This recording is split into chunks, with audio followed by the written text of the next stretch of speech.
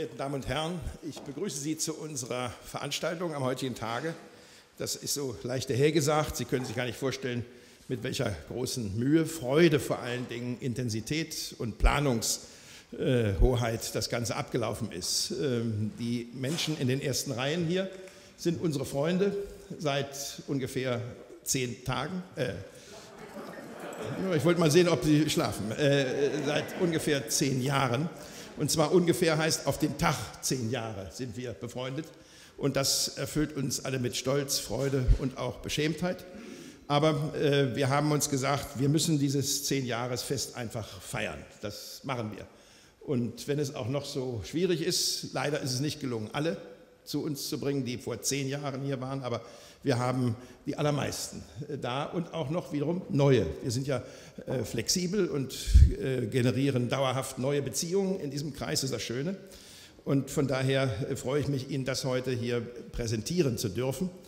Ähm, wir beginnen gleich mit einem kleinen Programm, was ich noch kurz darstelle. Aber lassen Sie mich erst herzlich unsere Freunde begrüßen. Ich fange da mal an, das ist einfach wichtig. Frau Renate Bechar ist aus Israel zu uns gekommen. Äh, Leslie, das ist schön. Er sitzt neben ihr, Leslie Baruch Brent, unser Freund aus England, aus London. Harry Kovo, der das erste Mal seit zehn Jahren äh, wieder bei uns ist, äh, mit seiner Frau aus Israel.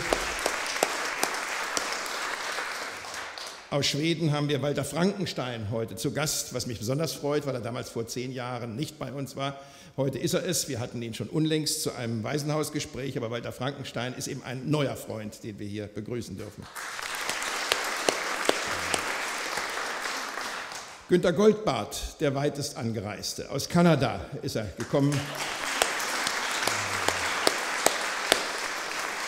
Ähm, Ernest Lowenberg, äh, Löwenberg aus London. Unser Freund Salomon Muller, äh, der uns stets äh, eine Freude ist. Und, und endlich auch Sally Schaul Model, der äh, uns äh, die Freude gemacht hat, ähm, aus Israel zu uns zu kommen. Das ist nicht alles. Bei der Gelegenheit muss ich einfach auch Peggy Parnas äh, vorstellen, Ihnen schon zu Anfang, weil Peggy Parnas auch ein äh, Waisenkind war, die aus Hamburg nach Schweden entfliehen konnte in, als kleines Kind und in Schweden überlebt hat und insofern eine kleine schwedische Fraktion sich auftut und ein jeder hat die Art, äh, die Dinge zu verarbeiten. Wir werden es genießen, wie Peggy Parnas uns äh, das hier zeigt. Also die beiden. Ja.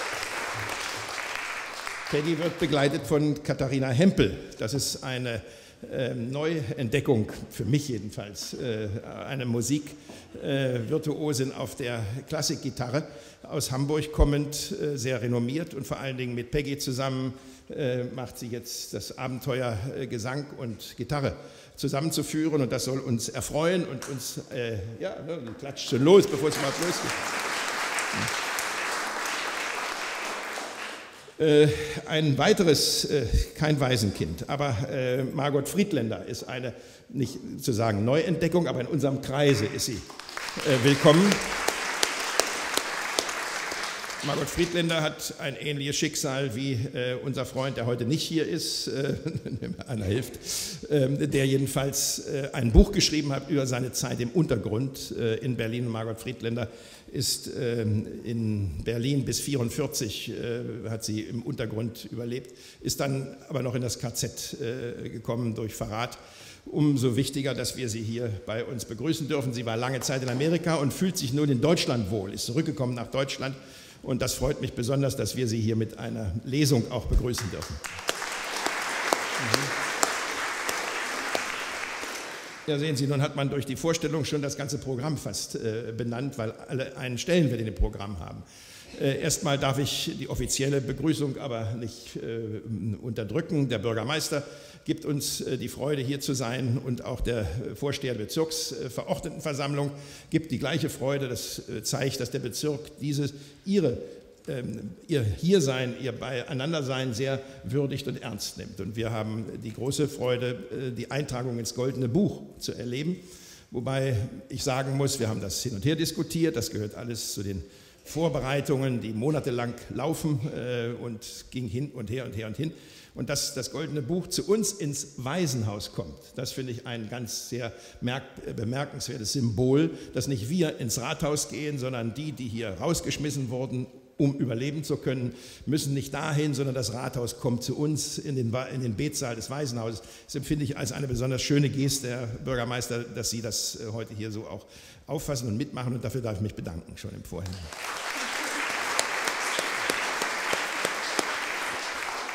Ja, ähm, meine Damen und Herren, hier habe ich äh, das materialisiert, äh, oder wir haben das materialisiert, was wir in zehn Jahren, ähm, ja, ich kann fast sagen, geleistet haben, darf man ja mal sagen. Nicht? Äh, wir haben ähm, das Waisenhaus vor zehn Jahren der Öffentlichkeit äh, übergeben, wenn man so will. Die Öffentlichkeit hat das Waisenhaus angenommen und wir sind jetzt beim 18. Waisenhausgespräch angelangt. Das ist heute eins wie wir das auch bezeichnen, und haben 18 Mal die Öffentlichkeit schon eingeladen zu besonderen Ereignissen, sich hier zu versammeln, zu treffen, zu diskutieren. Und wir haben in einem Buch ähm, die Stiftung Mithilfe aller, Mithilfe der Zöglinge, wenn ich sie mal so salopp nennen darf, äh, ihre Lebensgeschichten ein wenig aufgearbeitet. Sie haben ihre Reflexionen über uns in dem Buch ähm, publiziert. Wir haben die Geschichte der Rekonstruktion dieses Hauses in dieses Buch aufgenommen und das liegt hier. Wer das möchte, kann das gerne erwerben. Das, was mir besondere Freude bereitet hat, äh, auch arbeitsmäßig, lieber Leslie, nicht, äh, war äh, die Biografie unseres Freundes Leslie Brent, der diese in Englisch in England vor zwei oder drei Jahren, wie, weißt du noch, wie lange es ist?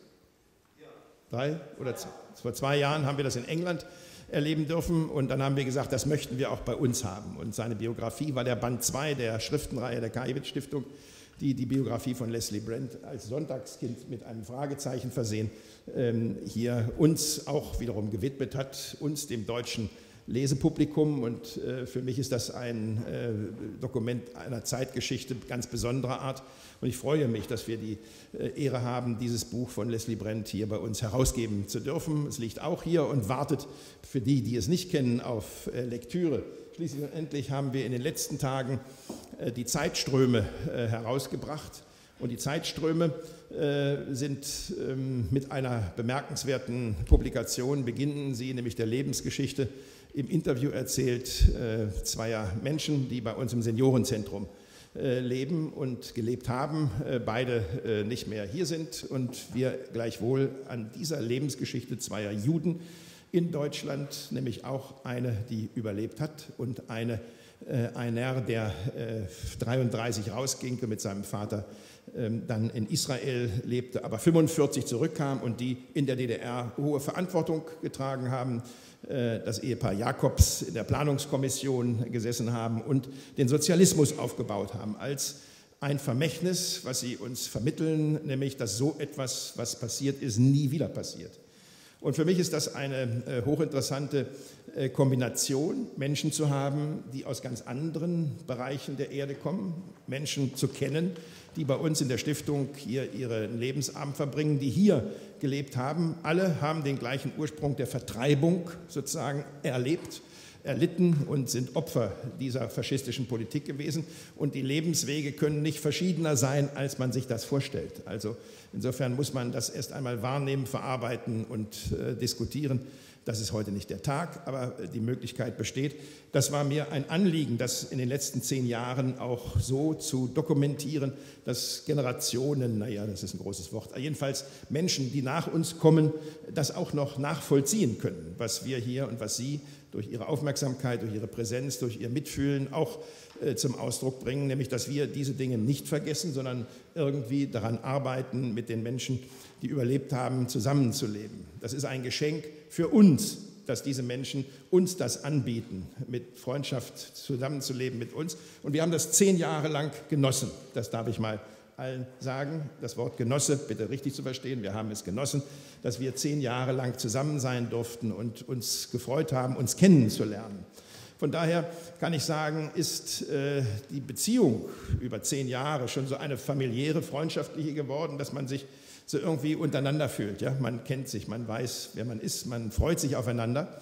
Und das mutet nahezu privat an, äh, dieses Aufeinanderfreuen. Und eine äh, Bekannte, die hoffentlich hier ist heute, die gesagt hat, sie kommt, hat gesagt, diese Privatheit ist auch schon wieder ein Stück Öffentlichkeit. Und dieses Stück Öffentlichkeit kann ich Ihnen eben hiermit auch präsentieren und freue mich, dass Sie teilnehmen und ein Stück Öffentlichkeit sind, die dieses Schicksal der Menschen begleiten, äh, die von uns in dieser Form, von uns sage ich, von den Vätergenerationen äh, in der Form massakriert worden sind und hier einfach verschwinden mussten, obwohl sie hier einfach ihre Heimat schon gefunden hatten. Ja, wir werden beginnen mit einer Dokumentation von Eva Benzin. Sie hat mit großer Mühe und Intensität zehn Minuten in zehn Jahren zusammengefasst, also die zehn Jahre in zehn Minuten, und wird uns äh, hier das gleich präsentieren, sodass wir auch optisch dabei sind, was wir zehn Jahre lang gemeinsam äh, erleben durften. Das kommt. Äh, ich hoffe, dass Hermann Rudolf irgendwie auch noch kommt. Ist er da? Naja, das ist doch klar, dass Herr Simon das, die Begrüßung mitmacht. Ich meine, aber Herr Rudolf wollte eigentlich eine Ansprache halten. Nun ist das bei den Dingen des Lebens so. Der wird sich noch einfinden. Die Zöglinge werden sich ins Goldene Buch eintragen. Und wir haben gelernt, äh, dass man ab und zu eine Pause macht.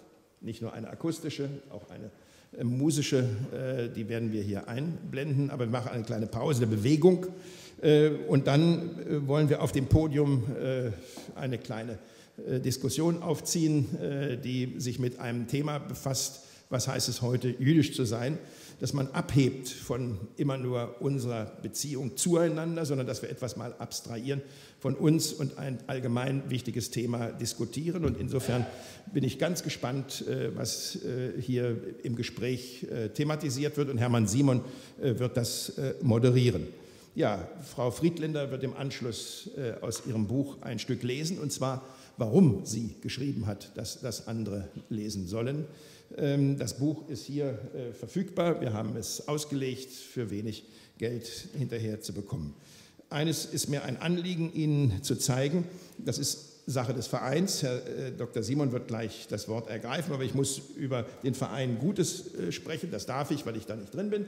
Der Verein hat jedes Jahr ganz rührig einen Kalender erstellt. Zuflucht und Vertreibung heißt er in diesem Jahr. Und in diesem Kalender ist für jeden Monat einer der Zöglinge in seiner Biografie nicht nur abgebildet, sondern auch mit Dokumenten versehen. Seine Biografie wird nachgezeichnet. Und äh, es ist mir nahezu eine äh, ja, äh, bewegende Freude zu sagen, dass unser Freund ähm, äh, Alex Deutsch im Februar in diesem Kalender ist und Alex Deutsch ist nicht mehr unter uns. Wir wissen das. Dafür ist aber seine Frau unter uns und wir freuen uns, Sie äh, hier damit begrüßen zu können. Äh,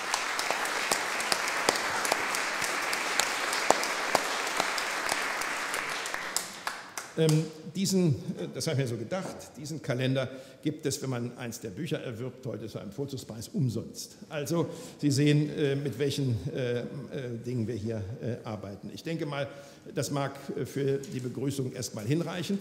Wir haben Wasser in der Pause, damit Sie sich nässen können und durchhalten. Und wir bedanken uns bei der Schule 1 äh, die es ermöglicht hat, im neu errichteten Garbati-Speicher, wo jetzt kein Tabak mehr wächst, sondern junge Kinder heranwachsen, ähm, uns heute Abend ähm, zu empfangen. Wir haben Sie alle, für Sie alle äh, das äh, geplant.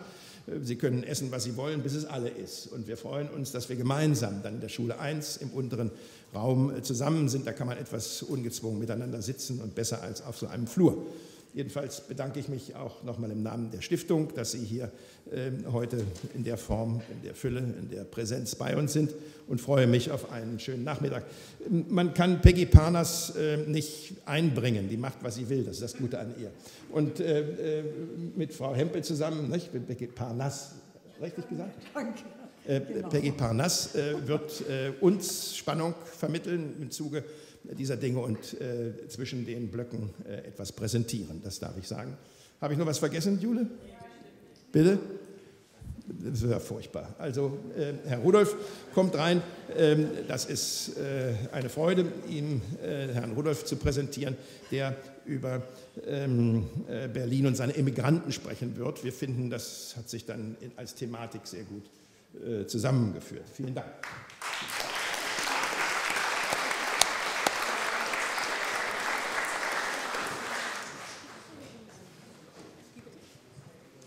Ja, schwierig nach einer Begrüßung eine weitere Begrüßung sozusagen nachzuschieben. Verehrte Ehrengäste, liebe Frau Wolf, Frau Friedländer, lieber Herr Albrecht, lieber Herr Rudolf, Herr Bürgermeister, Herr Kleinert, meine sehr verehrten Damen und Herren. Ja, ja, Nochmal allen herzlich willkommen. Pankow, liebe, ich sage jetzt auch einfach mal, liebe ehemaligen Zöglinge, Pankow freut sich, dass Sie unserer Einladung gefolgt sind. Wir haben ja gestern Abend schon in einer ersten Runde miteinander sprechen können und ich freue mich, dass Sie alle, wenn ich das mal so salopp sagen darf, dass Sie alle gut drauf sind. Es wird einem schwindlig, wenn man darüber nachdenkt, wie schnell die letzten zehn Jahre vergangen sind. Das ist natürlich eine Binsenweisheit, aber es ist so. Ich habe mir noch einmal meine Worte, wir haben ja alle Computer, da findet man alles schnell, von damals angesehen, habe als erstes festgestellt, dass ich sie auf 150 Prozent vergrößern musste, um sie gut lesen zu können. Also der Zahn der Zeit hat auch an mir genagt.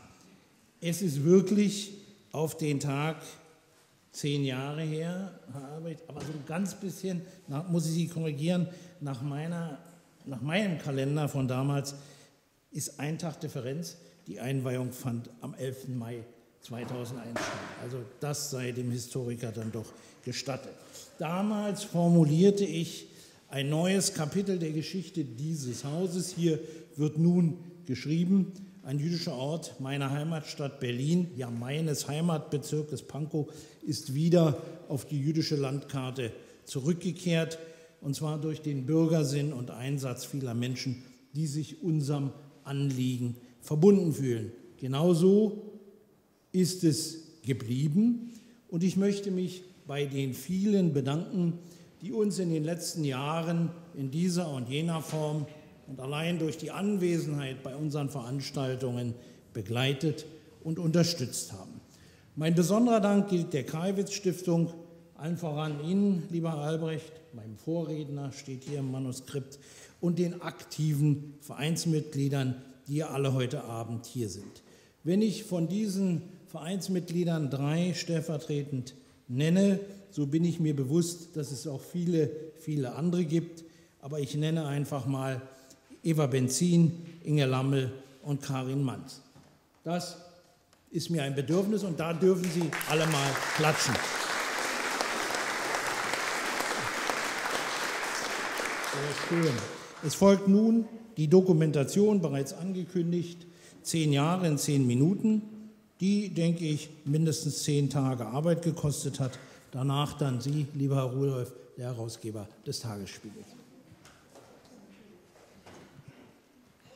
Also, ich bin gebeten worden, jüdische Lieder zu singen und dachte, ich kann ja gar keine, obwohl ich natürlich Jüdin bin. Aber ich liebe kleine Liebeslieder und drei von den kleinen Liedern sind von Juden komponiert und getextet. Und jetzt kommt das erste. Der Gigolo ist getextet von Julius Brammer.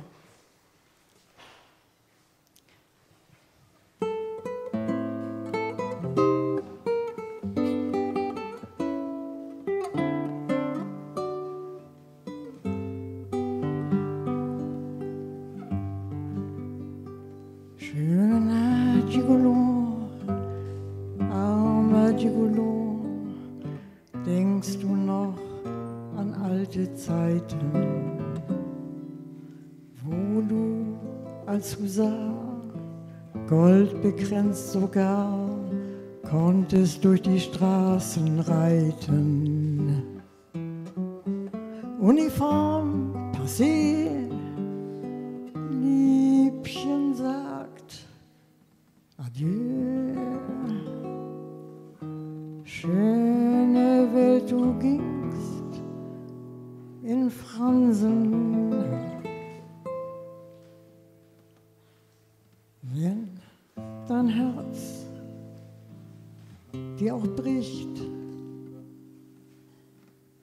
ein lachendes Gesicht. man zahlt. Und du musst tanzen.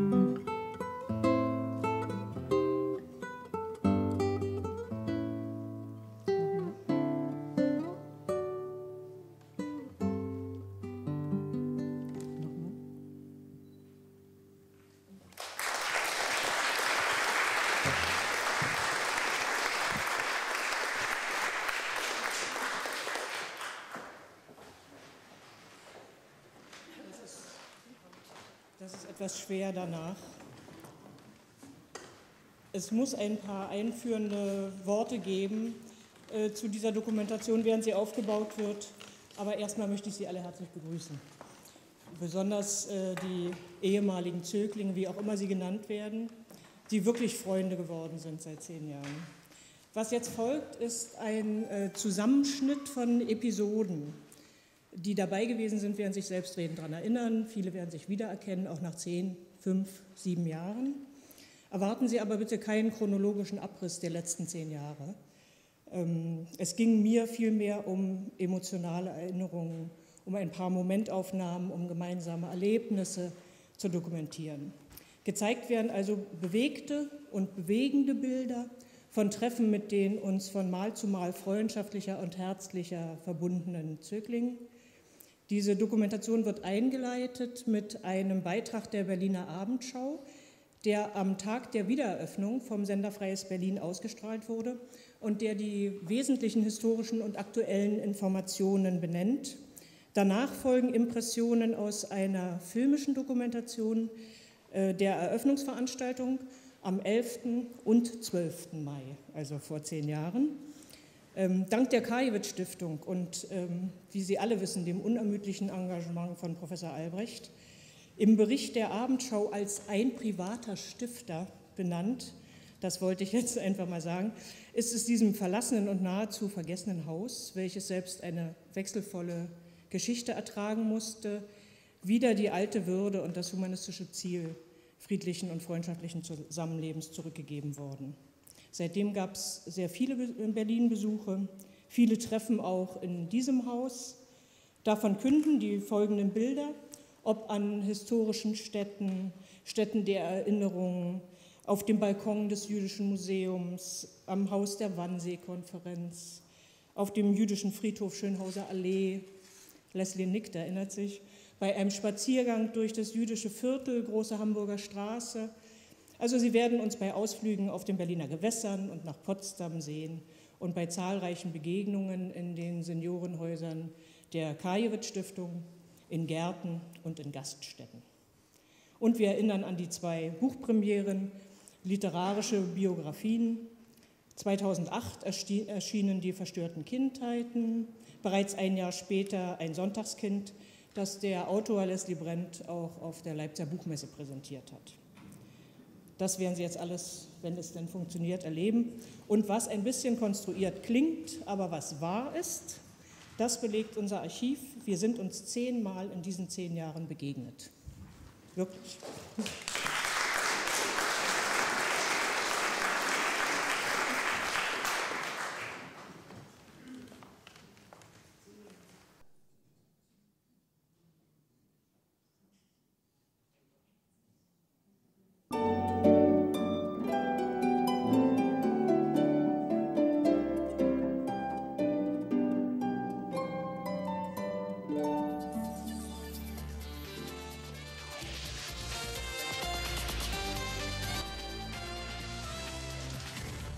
Kurz nach dem Einzug der Pankower Bibliothek stand heute das denkmalgeschützte und restaurierte Haus in der Berliner Straße ganz groß im Zentrum der Aufmerksamkeit. Aus aller Welt kamen Menschen, deren Schicksal ganz eng mit dem Gebäude verbunden ist, das sie vor über 60 Jahren verlassen mussten. Olli Zelle war bei der Wiedereröffnung des ehemaligen jüdischen Waisenhauses mit dabei. Berliner Straße 120, das ehemalige jüdische Waisenhaus. Es ist der gleiche, aber doch nicht derselbe Ort, an den heute 20 Überlebende erstmals zurückkehrten, aber mit taufrischen Erinnerungen. Fried Kirchner, Helmut Grabowski, Abraham Neumann, Koppel Goldbrunn, Gonowski. Das ist Herbert Ferder, ist hier.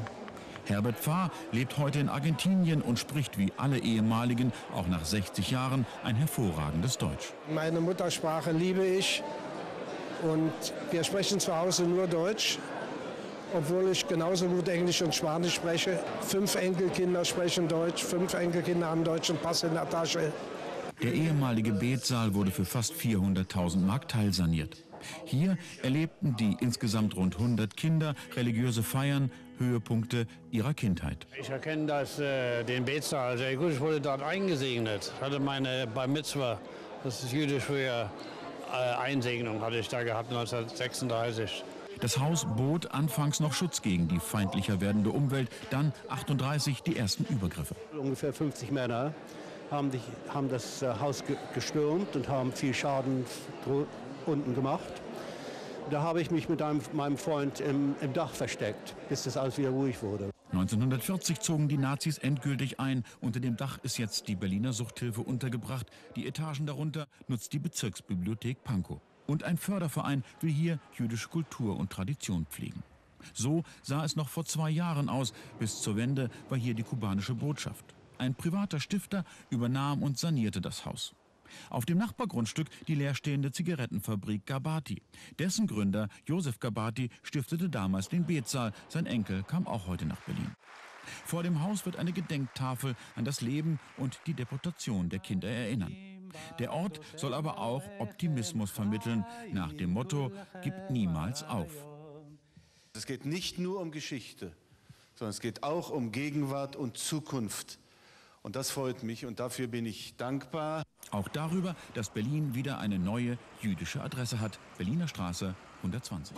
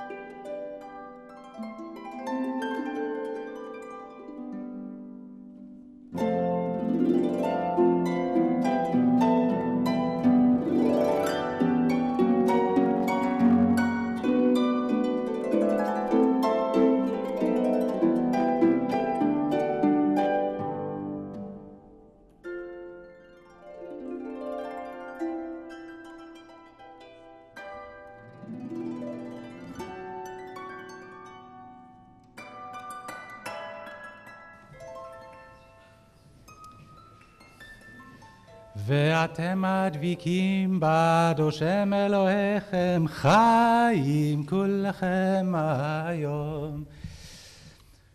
Mit diesem Spruch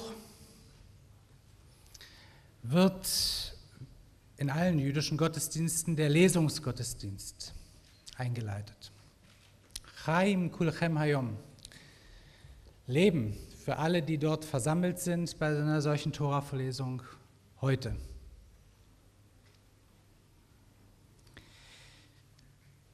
Was ist die Botschaft in einem solchen Haus, in dem wir heute hier stehen? Wer hätte gedacht am 9. November 38 oder als zu Beginn der 40er Jahre endgültig das jüdische Leben hier ausgehaucht wurde, dass wir heute hier stehen würden nach der Nachkriegsgeschichte, die dieses Haus gehabt hat.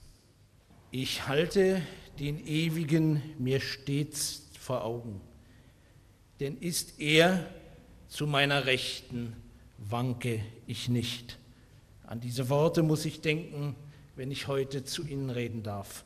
Stand doch dieser achte Vers des 16. Psalms, einst Deutsch und Hebräisch, unmittelbar hinter mir an dieser Wand, an der sich der Toraschrein der Synagoge des Waisenhauses befand. Die Reste der wertvollen Kassettendecke dieses authentischen Ortes künden von der einstigen Schönheit dieser Synagoge.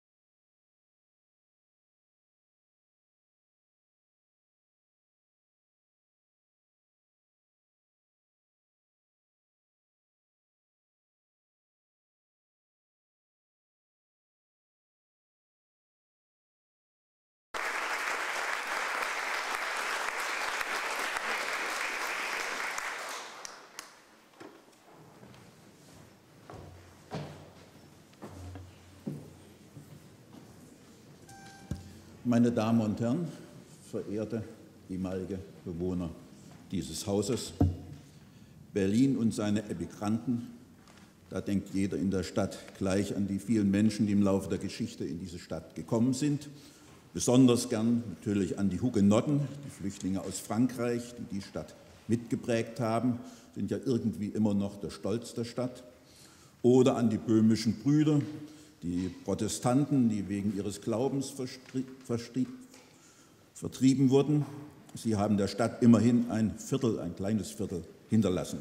Jedenfalls sehen die Berliner in ihrer Bereitschaft, fremde Menschen aufzunehmen und zu integrieren, ein Ruhmesblatt.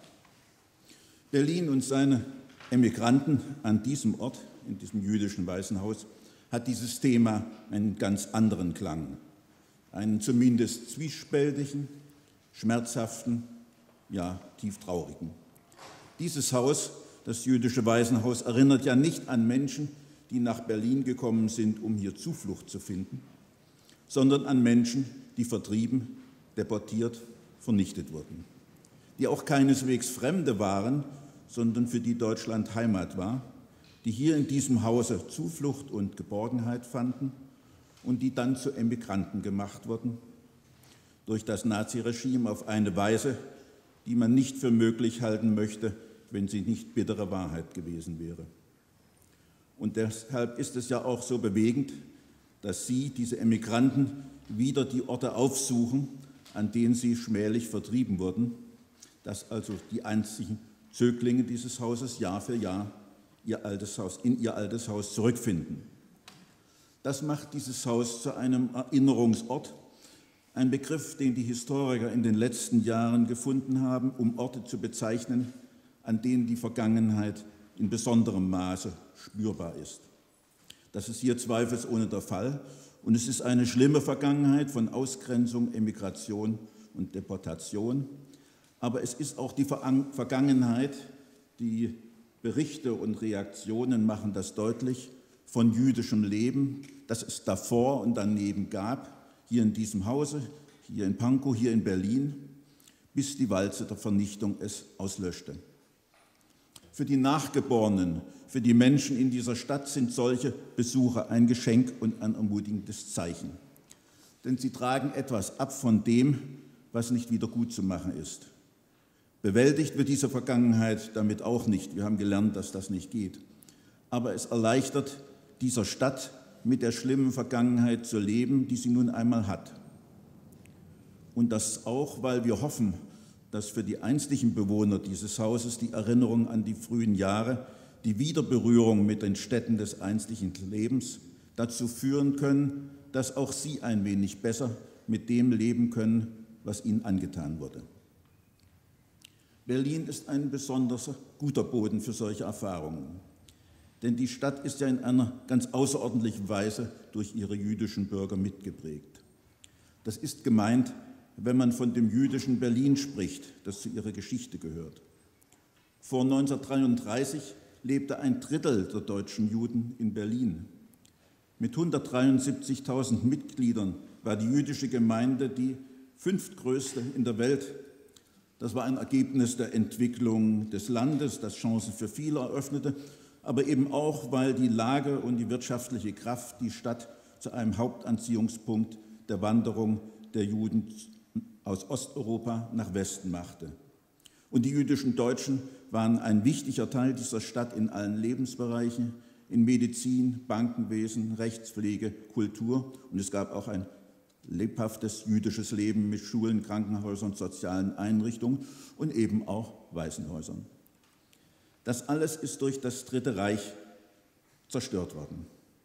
Wie kann eine Stadt, eine Gesellschaft ein Verhältnis finden zu einem solchen ungeheuren Bruch in ihrer Geschichte? Die Frage hier stellen heißt schon, eine Antwort zu finden, einen Ansatz zu einer Antwort. Denn dieses Haus und also die Tätigkeit der Kajewitz Stiftung und des Vereins der Förderer und Freunde des ehemaligen jüdischen Waisenhauses sind ein Beispiel dafür, wie man sich dieser Vergangenheit stellen kann. Aber es gibt eben in Berlin auch andere Anstrengungen und andere Antworten. Über die Stadt und ihre Emigranten zu sprechen, heißt beispielsweise auch, von dem Emigrantenprogramm des Senats zu sprechen. Das begann 1969 und ich glaube, dass der oder jener der einstigen Bewohner hier mit diesem Programm zum ersten Mal wieder nach Berlin gekommen ist. Über 33.000 ehemalige Berliner sind seit der Gründung durch Klaus Schütz, den damaligen regierenden Bürgermeister, der dann später Botschafter in Israel war, also über 33.000 sind wieder zu mehrtägigen Besuchen in ihre Heimatstadt gekommen. Über 40 Jahre ist es praktiziert worden und es war ein höchst erfolgreiches Unternehmen, auch wenn es im letzten Jahr äh, seinen Tribut geleistet hat, der Zeit und den finanziellen Mitteln und ziemlich auf Null heruntergefahren worden ist. Wer Berichte über diese Besucher gelesen hat oder die Zeitschrift aktuell einmal in der Hand hatte, die über sie berichtete, der kann nicht anders als bewegt sein. Er weiß, dass in den 40 Jahren nun nicht ein Strom, das wäre unangemessen, aber doch ein warmer Rieselregen von Empfinden, Wiedersehen, von Freude und Genugtuung auf diese Geschichte heruntergegangen ist. Es sind herzbewegende Geschichten, sie beleuchten den Hintergrund solcher Wiederbegegnungen mit der alten Heimat, das lange sich sträuben, das sich durchringen, dann doch zu fahren und schließlich doch das Wiedererkennen, das Wiederauftauchen alter Erlebnisse, schlimmer und guter und oft dann eben auch eine gewisse Genugtuung, es getan zu haben. Es sind allemal Experimente, Experimente mit der eigenen Biografie, aber die Ergebnisse dieser Experimente sind unter dem, Stuch, unter dem Strich erstaunlich positiv. Aber es gibt auch noch andere Wege, Brücken zu schlagen zum Schicksal der Juden in dieser Stadt, den Überlebenden wie den Toten. Da ist ja nicht nur das Mahnmal im Regierungsviertel, das in seinem Anspruch weit über das Schicksal der Berliner Juden hinausreicht.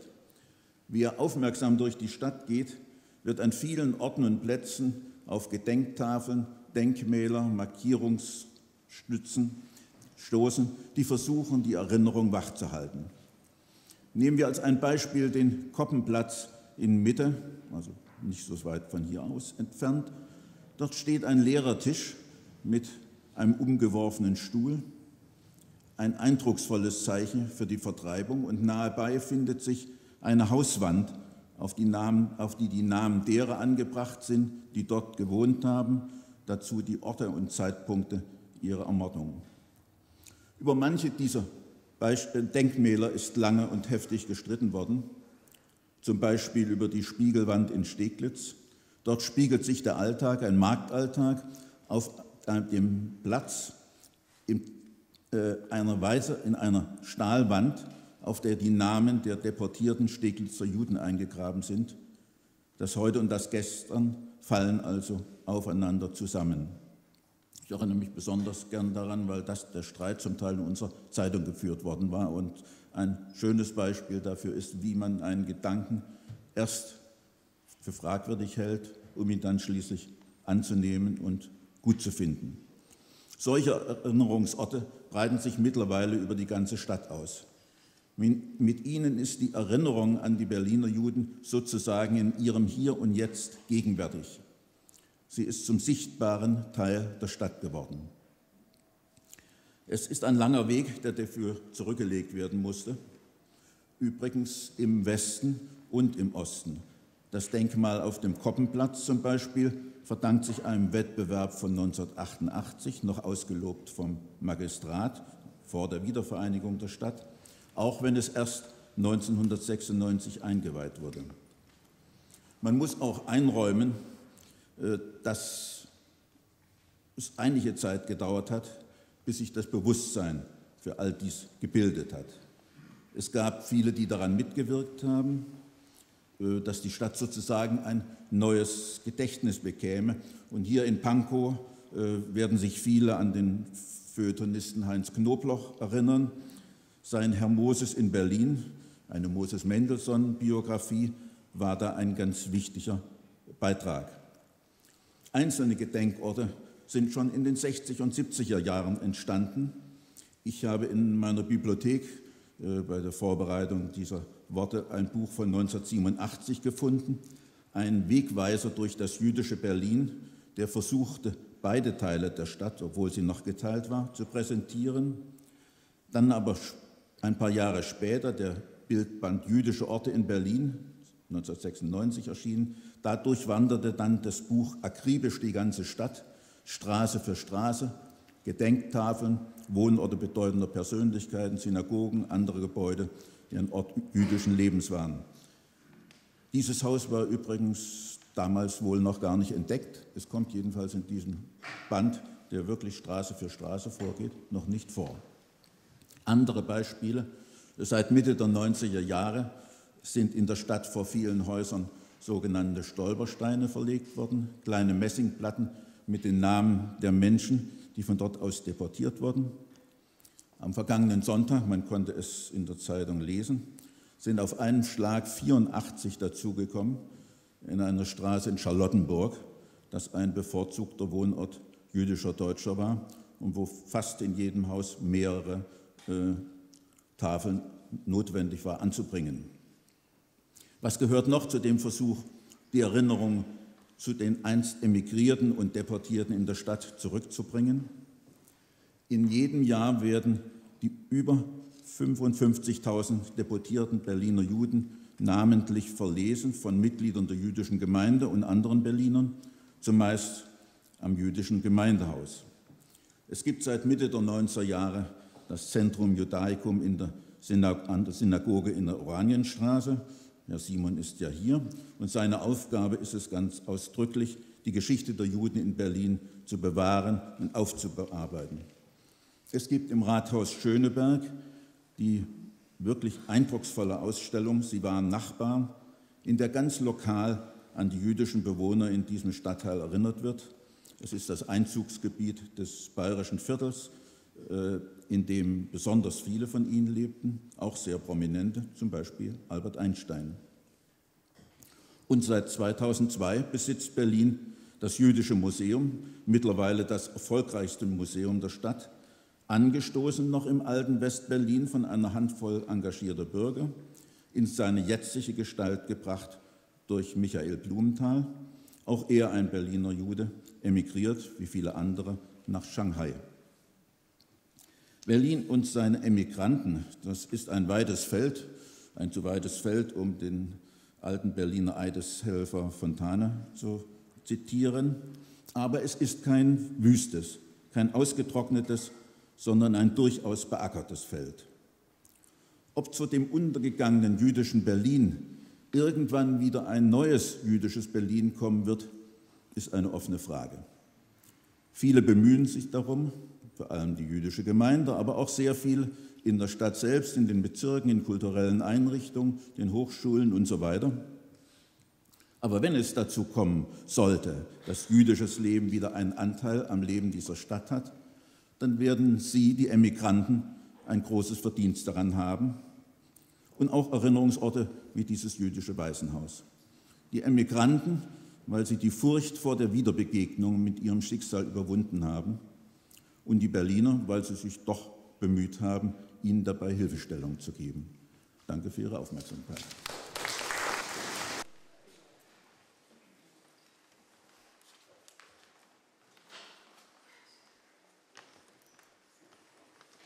Noch eine kleine Liebesschnulze, diesmal nicht von einem Juden getextet und komponiert. Kann nicht alles davon sein, aber das meiste.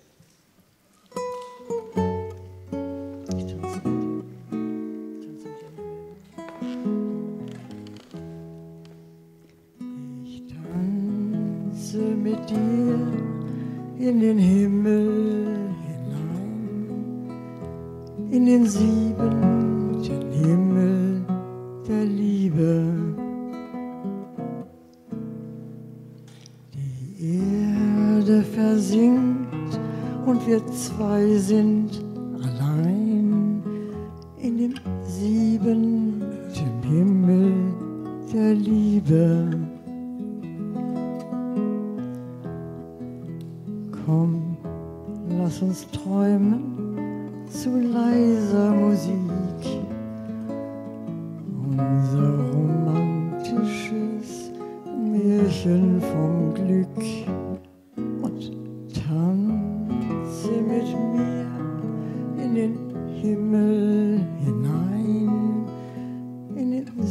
siebenten Himmel der Liebe.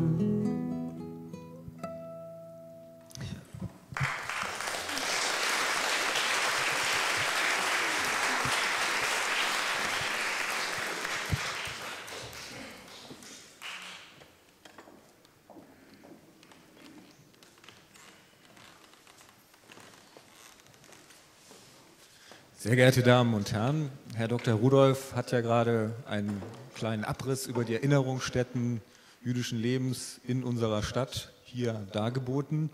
Ich denke, und ich bin auch stolz darauf und dankbar dafür, dass auch in unserem Bezirk nicht nur die Erinnerung wachgehalten wird, sondern dass es mittlerweile auch wieder Stätten gibt, die das jüdische Leben heute tatsächlich zeigen, in denen jüdisch gelebt wird. Wir haben die größte Synagoge Deutschlands bei uns im Bezirk, in der Riekestraße. Da wird heute aktiv religiös, Religion ausgeübt. Wir haben, das klingt jetzt komisch, aber wir haben drei Friedhöfe, jüdische Friedhöfe bei uns im Bezirk, darunter den größten in Europa befindlichen, in Betrieb befindlichen jüdischen Friedhof in Weißensee. Das gehört auch zur Normalität und das freut mich besonders, dass das auch wieder sichtbar wird. Und hinzu kommt, was mir auch sehr wichtig ist als Bürgermeister dieses Bezirkes, wir haben eine Städtepartnerschaft mit einer israelischen Stadt. Mit der Stadt Ashkelon und vielleicht kurz nebenbei erwähnt, heute ist der 63. Unabhängigkeitstag Israels. Daran möchte ich erinnern und auch das ist wichtig, dass man darauf hinweist und dass es diese Beziehung zum Heute gibt. Ich bin natürlich auch sehr, sehr dankbar, dass Sie wieder alle hier sind. Denn es ist keine Selbstverständlichkeit. Beim ersten Mal war es vielleicht besonders schwer. Aber in den letzten zehn Jahren ist Ihnen das immer leichter gefallen, weil Sie haben Freunde gefunden hier in Pankow und Sie haben ein anderes Land kennengelernt, das Ihnen anders vielleicht in Erinnerung war, als Sie dieses Land verlassen mussten. Deshalb herzlichen Dank, dass Sie immer wieder gekommen sind. Und ich danke auch Herrn Professor Albrecht stellvertretend dafür, dass er das alles organisiert hat mit seinen vielen fleißigen Helfern und Helferinnen. Ohne so etwas äh, wären wir alle gar nicht hier. Herzlichen Dank dafür.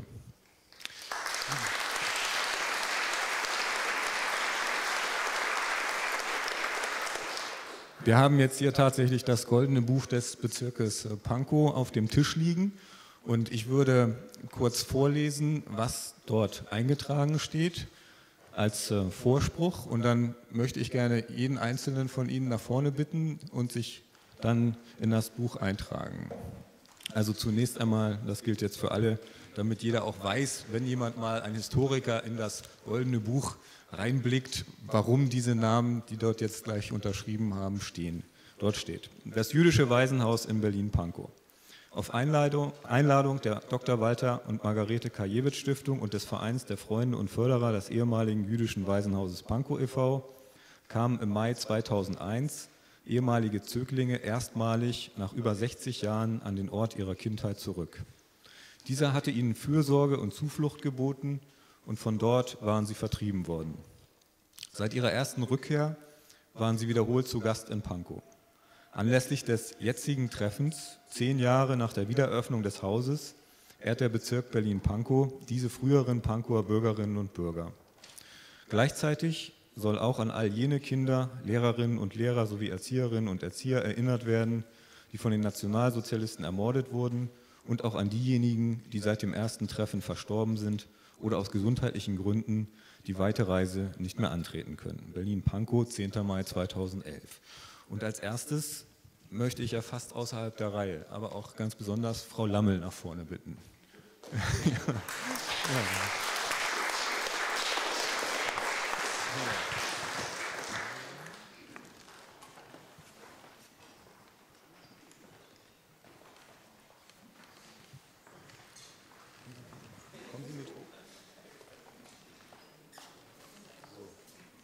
Also erst einmal herzlichen Glückwunsch nachträglich zum Geburtstag, Frau Lammel. Dafür gibt es auch noch bei Blumen. So, und dann möchte ich Sie bitten, als erstes sich einzutragen. Ja?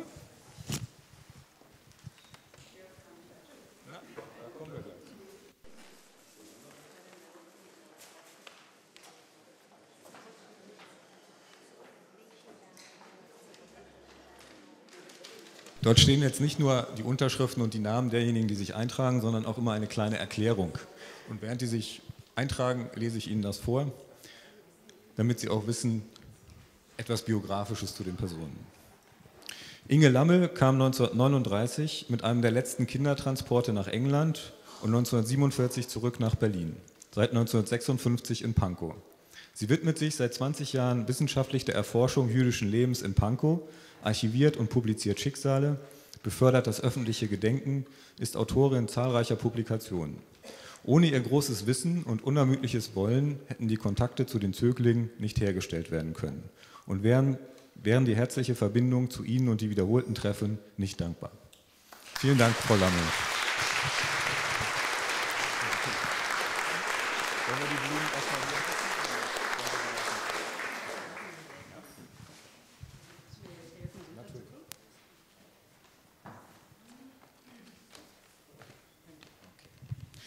So, als nächstes habe ich Leslie Baruch Brent.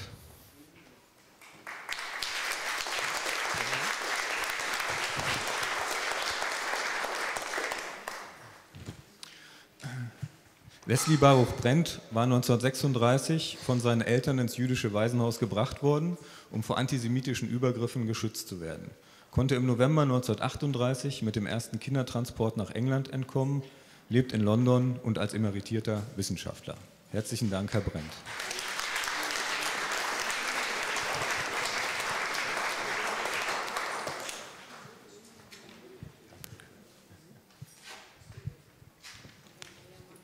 Dann habe ich Herrn Harry Kovo.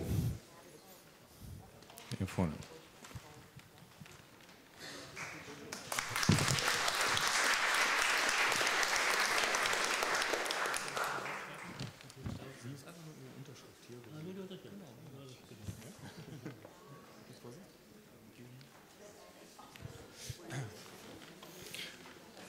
Harry Kovo war von 1929 bis 1933 im Waisenhaus, kam auf Umwegen 1934 nach Palästina und lebt heute in Tel Aviv. Herzlichen Dank.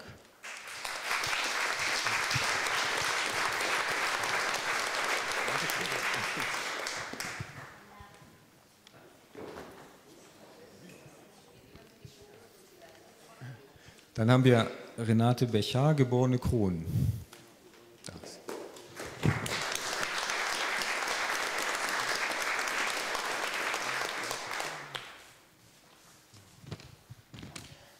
Renate Bechar, geborene Krohn, lebte im Haus, weil ihr Vater Kurt Krohn seit 1936 Direktor des Waisenhauses, die Mutter dessen Wirtschaftsleiterin war. Die Familie wurde nach Theresienstadt deportiert.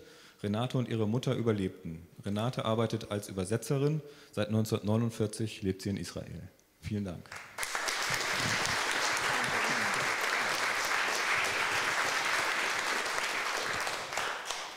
Als nächstes Walter Frankenstein.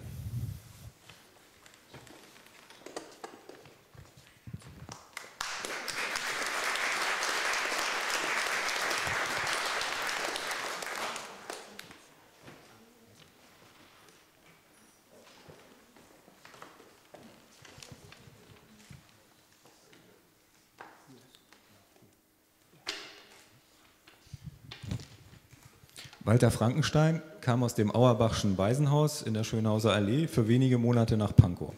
Er tauchte in Berlin unter, überlebte mit Ehefrau und zwei Söhnen im Versteck. Die Familie wanderte 1946-47 nach Palästina und 1956 nach Schweden aus. Vielen Dank.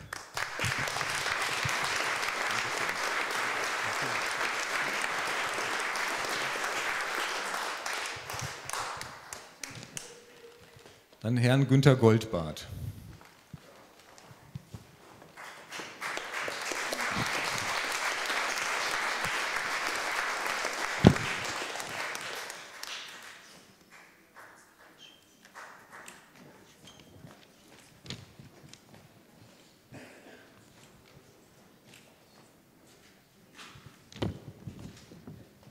Die Unterschrift bei dir dauert etwas länger, weil ich das in Sütterlin Haben Sie das gehört? Das dauert länger, weil Herr Goldbart noch in Sütterlin schreibt, hat er gesagt. Okay. Also. Günter Goldbart war von 1930 bis 1939 im Waisenhaus. Die Rettung erfolgte durch einen Kindertransport nach Holland. Bis zu seiner Pensionierung war er als Revisor tätig und lebt seit 1952 in Kanada. Herzlichen Dank.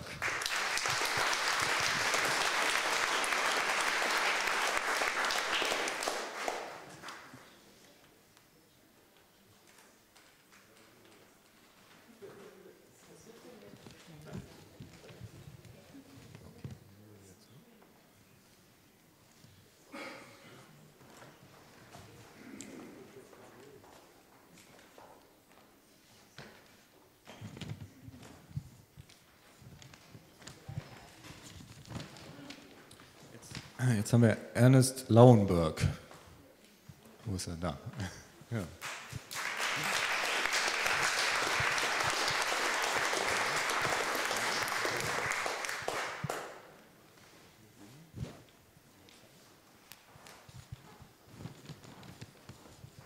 Ernest Lauenberg lebte von 1933 bis 1937 im Waisenhaus und emigrierte 1939 nach London. Und bis zu seiner Pensionierung war er Prokurist. In London lebt er immer noch. Vielen Dank.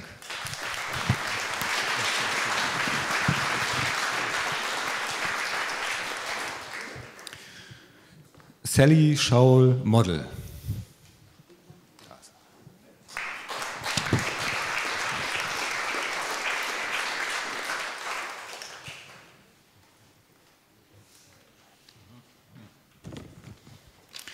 Sally Schaul Model von 1928 bis 1938 im Waisenhaus, wanderte 1938 nach Palästina aus, lebte und arbeitete in verschiedenen Kibbuzim, war Betriebswirt und Produktionsmanager. Heute lebt er in Haifa in Israel.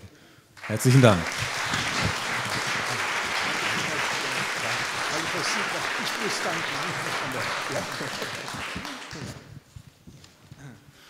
So, und jetzt haben wir noch Salomon Muller.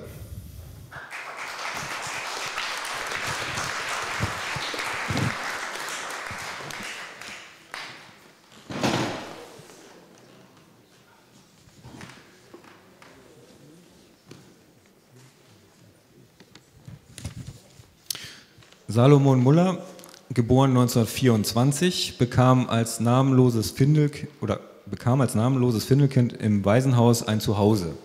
1938 Rettung durch einen Kindertransport nach England, diente bis zur Pensionierung in der britischen Armee, lebt heute in Banbury in England. Herzlichen Dank.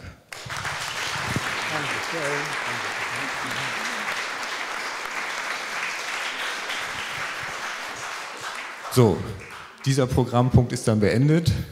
Herzlichen Dank Ihnen allen. Das ist sicherlich stellvertretend für all diejenigen, die in der Zwischenzeit hier im Waisenhaus waren oder vielleicht auch noch kommen werden. Herr Professor Albrecht hatte darauf hingewiesen, es gibt immer wieder neue Entdeckungen und ich hoffe, wir werden noch lange miteinander zu tun haben. Alles Gute.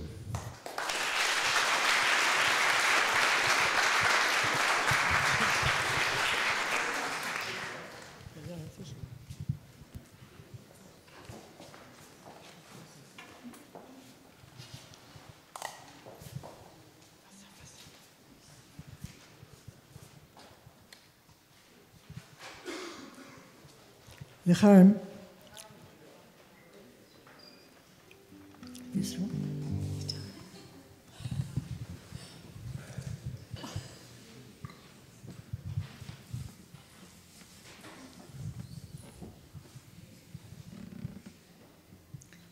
Übrigens, mein Bruder Gadi lässt euch herzlich grüßen. Mein Bruder Gadi ist Engländer, lebt im Kibbutz in Israel schon lange hat sich selber eine große Familie geschaffen, da wir keine mehr hatten. Hat also, seine Kinder haben einen Haufen Kinder. Ich bin Schwedin. Ja, wie es bei uns Juden so ist. Nicht? Join the Jews and see the world. Er lebt äh, zwischen Tel Aviv und Haifa, in einem linken Kibbutz, Gott sei Dank, in HaChoresh. Huch. Gott.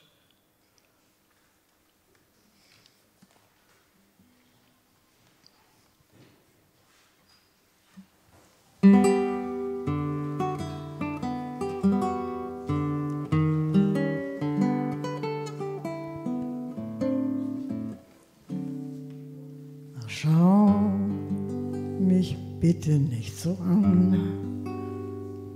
Du weißt genau, ich kann widerstehen. Schau mir nicht so auf den Mund, du kennst genau den Grund. So kann's nicht weitergehen. Ach, schau die Leute ringsumher, sie wundern sich schon sehr, wir sind ja nicht allein. Was mir dein zärtliches Lächeln verspricht, sollst du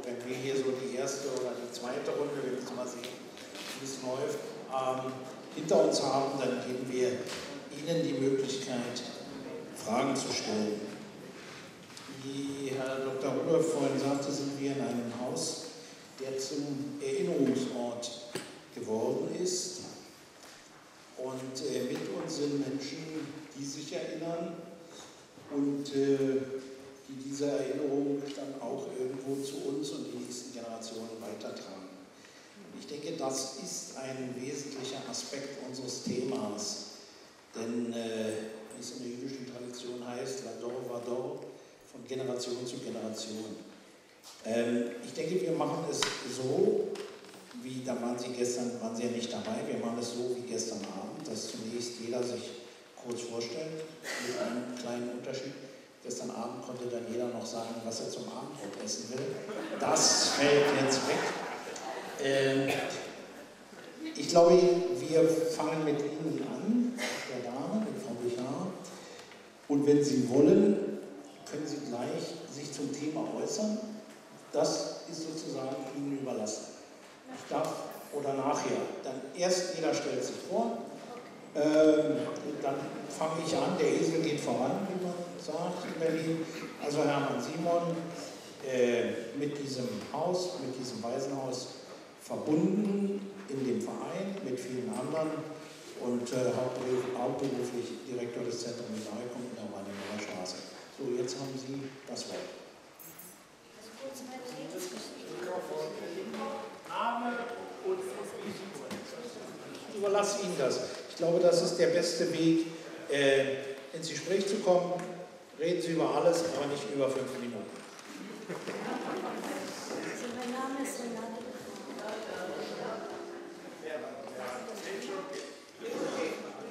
Mein Name ist Renate Bechar, geboren in Kron. Ich bin die Tochter des letzten Direktors dieses Waisenhauses, das leider im Jahr 1940 liquidiert wurde. Meinem Vater gelang es, noch einige Kinder mit den sogenannten Kindertransporten nach England und nach Holland zu retten, in die vermeintliche Freiheit. In Holland war es ja anders, wie wie man weiß, die nach England kamen, hatten ein besseres Schicksal. Und äh, im Jahr 1940 mussten wir umziehen in das sogenannte bayerische Viertel, wo die meisten Juden wohnten und einfach auf ihre Deportation warten mussten. Wir konnten noch bis 1943 in Berlin sein und kamen mit einem der letzten Transporte nach Theresienstadt. Im, im, am 28. September 1944 wurde mein Vater weggeschickt nach Auschwitz. Wir hörten nie wieder von ihm. Meine Mutter und ich blieben ganz, aber durch ganz reinen Zufall am Leben. Und wir kamen zurück nach Berlin, haben nichts vorgefunden, weder meinen Vater noch die Wohnung. Es war überhaupt nichts. Und der Hunger war genauso wie im KZ seinerzeit. Und irgendwie gelang es uns zu überleben. Wir ließen uns einschreiben, nach Israel zu gehen und konnten erst im Mai 1949 in Israel einwandern. Dort bin ich neu geboren, würde ich sagen. Dankeschön.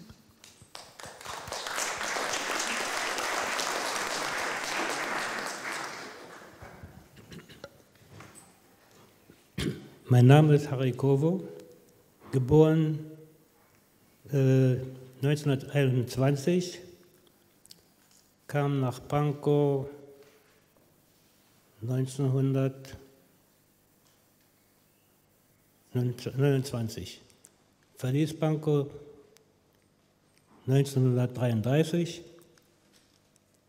Meine Eltern waren geschieden, deswegen kam ich nach Pankow. Und äh, von dort in 1934, ich hatte eine Tante in Berlin, sie nahm uns, mein Bruder, der auch in Pankow war, apropos, wir fuhren nach Palästina über Bulgarien, aber wir hatten keine Zertifikate. Und da waren wir dort in, in, in anderthalb Jahre in Varna. Und dann kamen die, äh, die Zertifikate und dann kamen wir nach Palästina. Und in Palästina ging ich zur Schule und so weiter, ein paar Jahre und dann bis zum Kriegausbruch ging ich ins englische Militär und äh, diente dort sechseinhalb Jahre im Middle East, Mittlerer Osten, ich war im Deutsch Mittlerer Osten. Und dann wurde ich äh, verlassen und äh, dann fing die normale, das normale Leben an oder unnormale, wie man das eben an, ansieht. Und äh, ich wurde dann in eine, ich kam in eine, eine damals war es sehr, wie sagt man, sehr, äh, wie, mein Deutsch ist sehr, sehr, sehr schlecht. Ich habe es halb vergessen. Ähm, hm? Say it in English. Okay, I said in English. I, I volunteered. Sorry, not I didn't volunteer. Sorry. I uh, joined one of the corp- cooperatives, bus cooperatives in Tel Aviv, as a member. You may know it, you may know what those cooperatives are. And that time, during that time, they were very, very attractive and very well. It, it was a good thing. It was a safe job for a lifetime. It wasn't my, my idea actually to do that, but I was pushed through my father-in-law who insisted I should do it. I was married by then. That's my, my wife. anyway, um, so I did, and I stayed with the cooperative until 85, when I was pensioned. And uh, actually 86. And uh, from then on, I'm a uh, pensioner. What do I do? Do a lot of swimming. So that's about the story, more or less. Very short.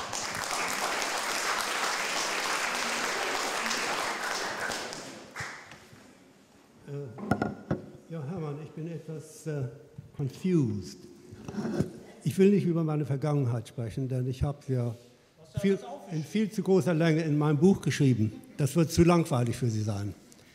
Ich habe, werde mich ich werde deshalb über das Thema sprechen, das uns gegeben worden ist, äh, was es heißt, heute jüdisch zu sein.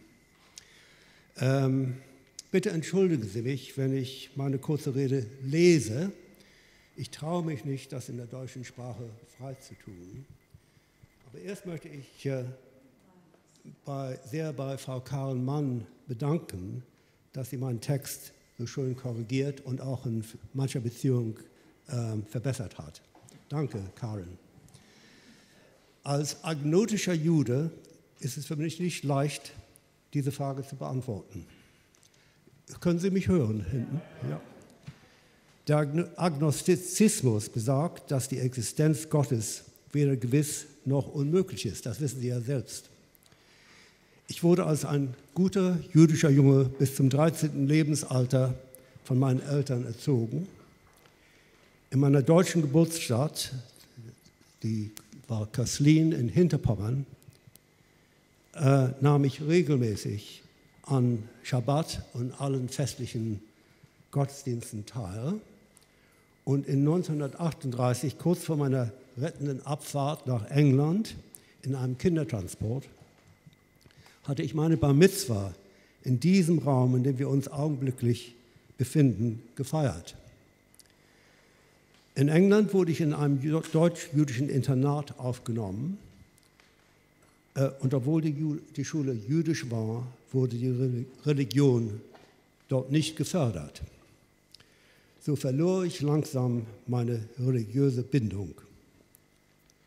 Im Großen und Ganzen glaube ich, dass der Verlust meiner ganzen Familie in der Shoah und die Ermordung der sechs Millionen anderer europäischen Juden dafür verantwortlich ist, dass ich nicht mehr an einen gütigen Gott glauben konnte. Später als Wissenschaftler wurde mein Agnostizismus noch fester, weil ich als Biologe nicht mehr die Geschichten in der Bibel ernst nehmen konnte. Deshalb war ich nie ein Mitglied äh, der jüdischen Gemeinde oder einer Synagoge in England. Obwohl die meisten meiner besten nicht ich habe nie versucht, meine deutsch-jüdische Vergangenheit zu verheimlichen. Natürlich wussten meine Familie und meine Freunde davon. Im Jahre 1989 war ich in, an einem Fernsehkulturfilm über die Kindertransporte beteiligt in England. Der, hieß, der Film hieß No Time to Say Goodbye. Und daraufhin erhielt ich einige Briefe von anderen Wissenschaftlern, die erstaunt waren, von meiner deutsch-jüdischen Vergangenheit zu hören. Also, wieso betrachte ich mich denn als Jude? Ich habe diese schwierige Frage in meiner Autobiografie besprochen. Ich glaube kaum, dass es Gene gibt, die bestimmen, ob man Jude ist, obwohl es einige Gene gibt, die man in größerer Menge in Juden als in Nichtjuden finden kann. Ich denke, dass meine kindlichen Erfahrungen in Nazi-Deutschland und das schreckliche Schicksal meiner ganzen Familie, die im Oktober 1942 in den Wäldern in der Nähe von Riga erschossen worden war, und natürlich auch das Schicksal der sechs Millionen anderer Juden, die Antwort zu dieser Frage bestimmen. Wie könnte ich denn je mein Jüdischsein verleumden? Deshalb hatte ich mich, mich auch vor vielen Jahren entschieden, meinen jüdischen Nachnamen Baruch als einen zweiten Vornamen anzunehmen, nachdem ich in der Armee während des Krieges einen englischen Namen erfinden musste. Es gibt natürlich ein großes anderes Problem für Juden wie mich. Obwohl ich die Gründung des Staates Israel im Jahre 1947 vollkommen unterstützte, habe ich seit vielen Jahren die Behandlung der Palästinenser von israelischen Regierungen, israelischen, israelisch, israelischen Regierungen stark kritisiert. Dadurch wurde ich auch wieder ein außenstehender Jude, dessen Ansichten der jüdischen Gemeinde nicht angenehm sind. Aber wenn man die israelische Regierung oder auch andere Regierungen, selbst unsere eigene, nicht kritisieren kann, würde es vollkommen hypokritisch sein, die große Menge von Deutschen, die sich nicht gegen die politischen Verfahren ihrer Nazi-Regierung gewehrt haben, anzuklagen. Aber das tut doch jeder vernünftige Mensch. Ich danke Ihnen für Ihre Aufmerksamkeit.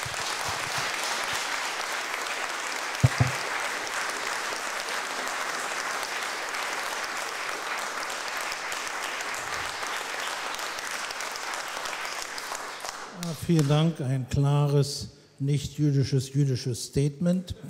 Äh, Walter Frankenstein. Also wenn das nicht jüdisch war, weiß ich nicht, was es ist. Mein Name ist Walter Frankenstein, geboren 1924 in Flatow-Grenzmark, das heute polnisch ist. 1936 äh, im, am 27. Juli nach Berlin ins Auerbachsche Waisenhaus gekommen, von dort 39 nach in das Pankower Waisenhaus und dann, als dieses aufgelöst wurde oder beschlagnahmt wurde von der Gestapo, wieder zurück ins Auerbach, das ich dann 41 verlassen habe. Äh, das Thema heute, ja, äh, jüdisch, Bibel, also da, da kann ich nur sagen, ich habe meinen Glauben am 1. April 1933 verloren. Äh, ich war damals in Flatow als Kind, ich war neun Jahre alt und stand, wir hatten einen Landhandel und eine Gastwirtschaft und vorbei zog SA und einer, ich stand im Fenster über dem Geschäft in der Wohnung und sah, wie ein SA-Mann seine Pistole zog und zu uns ins Geschäft äh, schoss. Und da sagte ich als Neunjähriger, lieber Gott, wenn dieser Mann nicht innerhalb der nächsten 50 Meter tot umfällt, dann glaube ich nicht mehr an dich.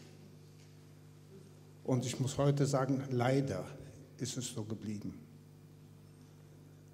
Äh, meine Geschichte weiter ist äh, nach dem Auerbach, also habe meine Frau dort kennengelernt, die Erzieherpraktikantin bei Taubstumm waren, die auch dahin gekommen waren. Wir haben dann geheiratet. Unser Sohn, unser ältester Sohn wurde am 20. Januar 1943 geboren. Sechs Wochen später gingen wir in die Illegalität. Für wir haben uns versprochen, als wir uns verlobten, wir gehen nicht mit, nicht mit uns. Und Klaus Hillenbrand, der hier unter uns ist, hat dieses Buch für uns geschrieben und der Titel ist Nicht mit uns. Wir haben uns von den Nazis nie etwas gefallen lassen, haben keine Angst vor ihnen gehabt. Und wir haben die Zeit illegal überlebt und in dieser Zeit haben wir sogar noch einen Sohn bekommen. Wir sind, glaube ich, die einzige jüdische Familie in Berlin. Mann, Frau und zwei Kinder, die die Illegalität zusammen überlebt haben. Waren dann in Israel, also äh, war mit in der Organisation der illegalen Einwanderung nach Israel, habe in Frankreich in Marseille äh, Schiffe mit vorbereitet für die Fahrt, äh, war dann interniert auf Zypern und später in der Armee in Israel ich war der Soldat 2007 in der Zawar Haganah, in Israel, also der israelischen Befreiungsarmee. Kam dann frei, wurde entlassen, 39, war in der Reserve und 56 sind wir nach Schweden. Ich hatte die Möglichkeit, dann noch zu studieren, habe mein Abitur nachgemacht und zwei Ingenieursexamen. Und äh, leider ist meine Frau vor zwei Jahren gestorben. Ich bin jetzt allein habe zwei Söhne, zwei Schwiegertochter, drei Enkel und zwei Urenkel. Alles andere können Sie in dem Buch lesen. Nicht mit uns von Klaus Hillenbrand.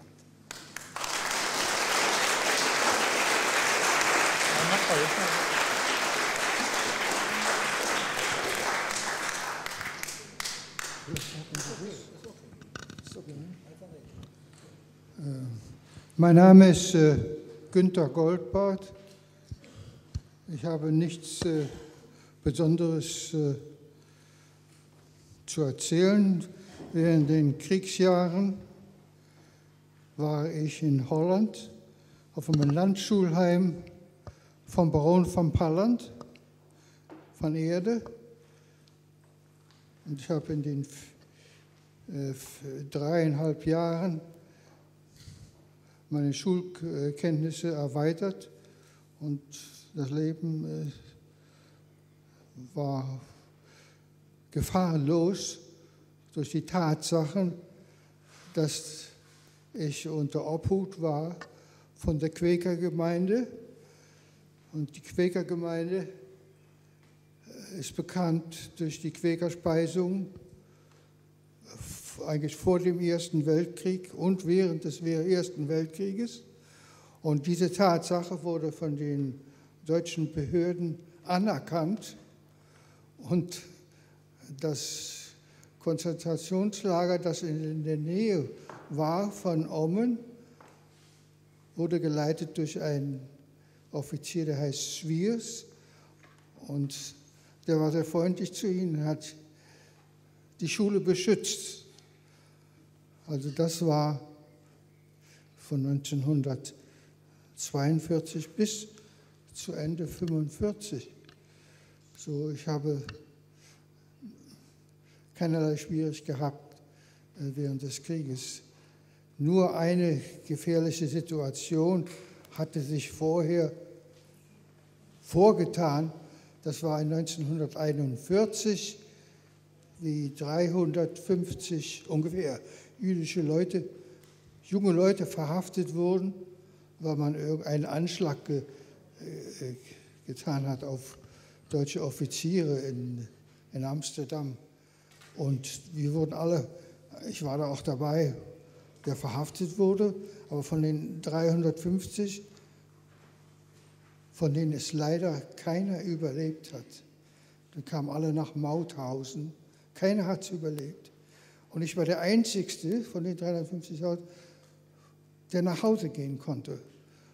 Und der mir sozusagen das Leben gerettet hat, war, war Klaus Barbie, sehr bekannt als der Schlechter von Lyon, also ein hoher Nazi.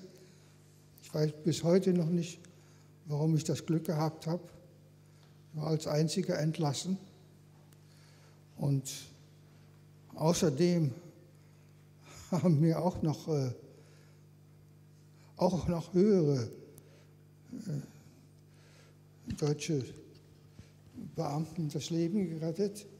Mein, der, Verlobte meiner, der frühere Verlobte meiner Mutter hat für mich die drei Jahre lang äh, die Schulkosten behoben. Also er bezahlte für mich und er war ein hoher Nazi. Also so, ich habe auch äh, gute Sachen empfangen von, von den Nationalsozialisten. Durch Glück, oder ich weiß nicht warum. Also, mir haben die Kriegsjahre nichts Schlimmes angetan. Das war mein Leben.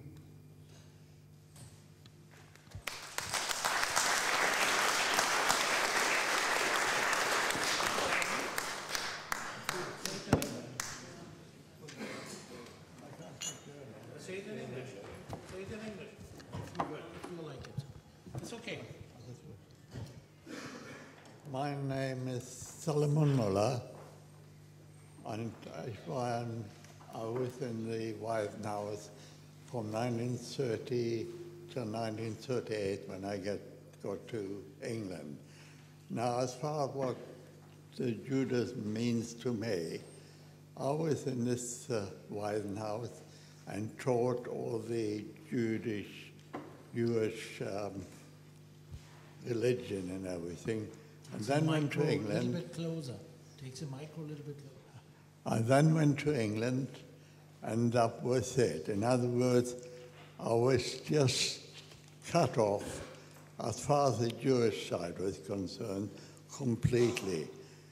I've no, never any thought of what it means to be a Jew. I've, to Jewish in, in North was just a religion to me like any other religion. I was brought up in England for the last, goodness, five years, all in um, non-Jewish areas, non-Jewish activities, and until this I came here again 10 years ago. As far as I'm concerned, I've never given, I mean, be, I'll be honest with you, I've never given any thought of what it means to be a Jew, except somebody says to you, what's your religion? I'm Jewish, and that was it. Now, since then, I've haven't thought about it, I'll be honest with you. And as far as I'm concerned, unfortunately, um, Judaism is a religion like any other religion uh, because for the last 60 years, that was it. I've never given any uh, thought about religion, quite honestly. Um, it, I've never given a thought about religion, and that's the honest truth. So I'm afraid I can't tell you what it means to be Jewish, because as far as I'm concerned, um, Jewish uh, was like any other religion. You read about it, you hear about it. Now, the Holocaust, it affected me in as much I thought of, well, I'm Jewish, and I'm lucky I escaped it. Now, I've got no, the reason, and that, of course, is that I've no relations, none whatsoever. So the Holocaust was something which affected my religion, but not me personally. So that's all I can really tell you. It might not be the right thing to say, but as far as I know, the Jewish is just a religion like any other religion, and that's, that's it. Sorry, but there you are.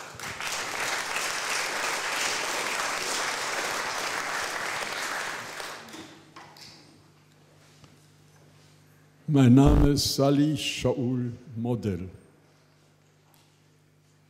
Ich möchte vorerst einige, einige Worte äh, aussprechen als Lob und Anerkennung für die Leute hier im Verein, die tätig sind und sehr effektiv und sehr viel Energie investieren, freiwillig, um unsere Epoche aufzuhalten, im Gedächtnis aufzuhalten und vielleicht verewigen. Vielleicht. Äh, ich selbst bin, habe äh, eigentlich das Glück gehabt, in, einer, äh, in den Jahren nach meiner, äh, äh, meiner achten Klasse, wie ich hier war, äh, dass sich der, der, das Regime im Waisenhaus Leitung geändert hat und ein neuer Direktor kam, der Kron, der humanistischer und liberaler war als alle Regime bevor. Und so war mir, war mir äh, konnte, konnte ich deswegen äh, da ich äh, angehaucht war von den Gedanken, dass wir müssen eine Änderung machen in unseren Zielen, unseren privaten Zielen und äh, unser Leben dafür äh, einsetzen, nicht nur mit Reden, sondern mit Taten. Das war eben die zionistische Organisation und ich konnte deswegen äh, beitreten einer Jugendbewegung, einer zionistischen Jugendbewegung und die Heimabende auswärts. Ich durfte rausgehen, bekam Urlaub, äh, abends rauszugehen, zu den Sitzungen teilzunehmen, wöchentlich.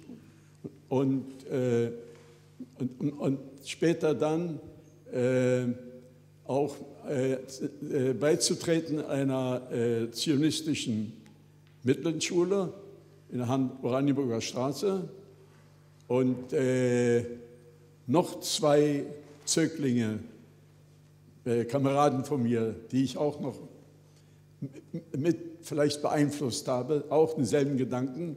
Wir drei konnten rausgehen, jeden Tag die Schule besuchen und Wir bekamen nicht nur die Erlaubnis, rauszugehen, sondern wir bekamen sogar das Fahrgeld, mit hinzufahren, das in der Mitte der Stadt war. Und er, er stellte uns sogar ein Zimmer von seiner eigenen Wohnung zur Verfügung, räumte uns für unsere Verfügung, mit wir dort unser Schularbeiten und unser Lernen äh, weitertreiben können. Und dementsprechend sind wir dann, äh, wie das der Weg war, sind wir dann mit der zionistischen Bewegung, durch diese Bewegung nach Palästina ausgewandert, um die Ideen, die wir jetzt gelernt haben, zu verwirklichen an unserem eigenen Körper. Und wir taten das und wir gingen in, ein, in die verwüstete und schwerste Gegend in Israel, das war am Toten Meer, wo nie, nie äh, irgendwelche Kultur, äh, keine Pflanzen und nichts existiert hatte, da ja alles Salzwüste war. Und wir haben dort acht Jahre, dort war ich dort, um das aufzubauen. Wir haben das Wunder verbracht und es wurde ein, ein, ein Dorf blühend. Und äh, nachher, etwas später, äh, bin doch mit der Zeit etwas älter geworden und äh, habe dann den sozialistischen Gedanken ein bisschen äh, war ich enttäuscht und bin dann nachher rausgegangen aus den Cools und draußen weitergelebt bis heute. Und dadurch habe ich meine Pflicht und habe mein Studium und das alles nebenbei gemacht. Äh, so bin ich hier, ich bin zufrieden mit meinem Leben, wie ich das gemacht habe. Und äh, mit der Unterstützung, die ich ja hatte vom Weißen Haus. Vielen Dank.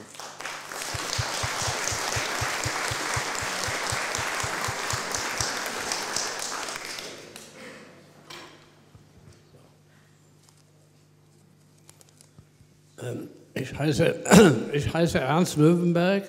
Ich war im Waisenhaus zwischen 1932 und 1937 und ging dann anschließend ins Lehrlingsheim, da ich dann die Ortschule besuchte, die mich für einen handwerklichen Beruf ausbildete, um meine Auswanderung nach England zu ermöglichen. Äh, meine weitere Laufbahn habe ich mehrmals beschrieben. Ich will mich darüber nicht jetzt ergeben. Ich möchte mich nur zu dem Thema äußern, äh, das wir besprochen hatten und was auf der Tagesordnung stand. Und zwar ist es das äh, wie, was heißt es heute, Jude zu sein? Und ich möchte mich zu diesem Thema äh, äußern und möchte einige Bemerkungen, einige Gedanken, die ich hatte, die ich äh, festlegte, muss ich Ihnen vorlesen. Also, was heißt es heute, jüdisch zu sein? Um diese Frage ausreichend zu beantworten, muss ich einige Jahre zurückgreifen, das heißt zu meiner Kindheit, da in dieser meine Einstellung zum Judentum geprägt wurde. Juden gab es damals wie heute, äh, wie heute äh, in, äh, in allen Ausgaben von streng orthodoxer Gesinnung über liberale Einstellung bis zum antireligiösen Standpunkt. Meine Eltern waren liberal im traditionellen Sinne und mein Vater war aktiv in der zionistischen Bewegung in der er für die Gründung eines jüdischen Nationalstaates in Palästina äh, warb. Hitlers Machtergreifung in den 30er Jahren brachte 450.000 deutsche Juden zu der Einsicht, dass diese Bemühungen nicht verfrüht waren, da viele durch Emigration nach Palästina ihr Leben retten konnten. Mein Bruder und ich traten damals zionistischen Verbänden wie Habonim und Maccabi bei und bereiteten uns auf die Auswanderung vor. Damals wie heute verband uns eine enge emotionelle Verbundenheit mit dem Staat Israel, welches nicht unbedingt eine Rechtfertigung oder Gutheiß zu allen bedeutet, aber welches einzigartig im Gefühlswesen eines Juden herrscht. Was heißt es heute, jüdisch zu sein? Es war der bewegende Moment, Israel das erste Mal zu besuchen. In meinem Fall war es nur ein Kurzbesuch im Zuge meiner goldenen Hochzeitsreise letztes Jahr. Es war das Gefühl der Genugtuung, einer Bar Mitzvah-Feier beizuwohnen, in der der Familienvater der einzige Holocaust-Überlebende war äh, und dessen Familie nach dem größten Völkermord aller Zeiten heute schon wieder 27 Mitglieder zählt. Das, das tausendjährige Reich geht nach zwölf Jahren unter. Wir haben trotzdem überlebt. Wir können stolz sein, heute jüdisch zu sein. Ich danke Ihnen.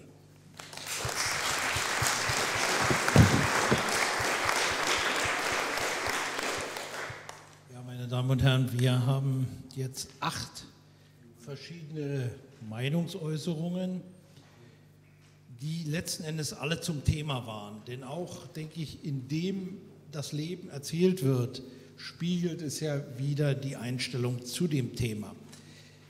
Wie kriegt man die acht Äußerungen unter einen Hut?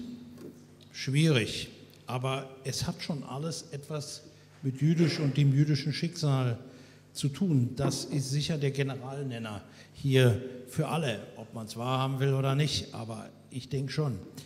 Äh, ich stelle jetzt die Frage hier ins Podium, ob sich irgendwer dazu äußern möchte, zu dem, was wir eben gehört haben. Ich habe eine Wortmeldung, Frau Bichar, und dann gebe ich einmal in den Saal und dann hier nochmal und dann kommen wir zum Punkt. Bitte. Zum Schluss, zum Punkt kommen wir nicht und zum Schluss kommen wir hier auch nicht. Also ich habe mir einiges aufgeschrieben, ein paar Notizen, die ganz ähnlich sind wie die des Herrn, der zuletzt gesprochen hat. Aber ich möchte es trotzdem vorlesen. Als erstes möchte ich unseren wunderbaren Gastgebern danken, die sich Mühe geben, von Jahr zu Jahr mehr, schon zehn Jahre lang, und die einen ganz großen Teil der Bitterkeit, die sich in mir angestaut hat, abgebaut haben. Noch nicht alles, aber es wird immer besser.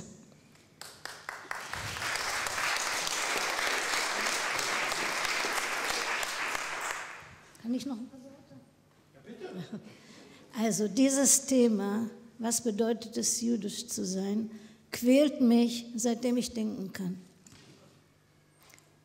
Um, diese, um die Frage zu beantworten, was es heute bedeutet, jüdisch zu sein, muss man zuerst bedenken, was es gestern hieß, jüdisch zu sein. Gestern, damit meine ich die Zeit vor dem Holocaust.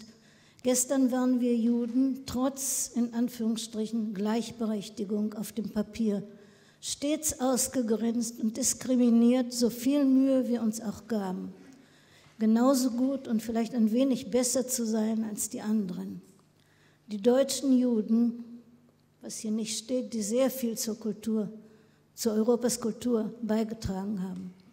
Die deutschen Juden lebten in der Illusion, sie könnten sich in die christliche Umwelt integrieren. Die deutschen Juden wollten Deutscher als Deutsch sein. Sie waren begeisterte Patrioten. Viele kämpften und starben im Ersten Weltkrieg für Deutschland. Und dann waren, doch waren sie immer irgendwie anders. Jüdisch sein heute. Jeder Jude auf der Welt trägt an der Last der Erinnerung an den Holocaust, egal wo er lebt. Heute befindet sich das Judentum in einer Phase, wie es sie niemals zuvor gab. Heute hat jeder Jude auf der Welt die Option, im jüdischen Staat in Israel zu leben, wo alle in jeder Beziehung gleichberechtigt sind. Auch wenn ein Jude physisch nicht in Israel lebt, weiß er um den jüdischen Staat. Und meiner Meinung nach gibt ihm dies ein Gefühl von moralischer Stütze und Sicherheit. Aus der Kirche kann man austreten, aus dem Judentum niemals. Ein Jude kann gläubig sein oder Atheist, auch wenn er niemals eine Synagoge besucht und keines der religiösen Gebote einhält, bleibt er immer ein Jude. Wir haben in der jüngsten Vergangenheit gesehen, dass auch die Christen getaufte Juden weiter als Juden ansahen. Meiner Meinung nach ist es ein Grundbedürfnis jedes Menschen, zu einer Gemeinschaft zu gehören, Teil einer Gemeinschaft zu sein. Und meiner Meinung nach kann ein Jude nur in Israel dieses Gefühl haben, ganz dazu zu gehören. Ich selbst bin nicht religiös, doch habe ich in Israel das Gefühl, dazu zu gehören, Teil einer Gemeinschaft zu sein, was nirgendwo auf der Welt der Fall wäre. Überall auf der Welt sind Juden Außenseiter, leider auch wenn sie gleichberechtigt sind. Obwohl die Gesellschaft in Israel eine recht heterogene Gesellschaft ist, hat jeder Bürger des Staates die Gewissheit, dazuzugehören. Jeder hat die gleichen Rechte. Und zum Abschluss, es gibt ein jüdisches Sprichwort. Schwer ist es, ein Jude zu sein.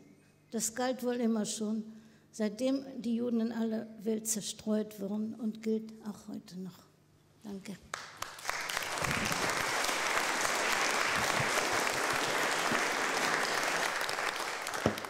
Ja, vielen Dank. Ähm, wir geben jetzt einmal in den Saal.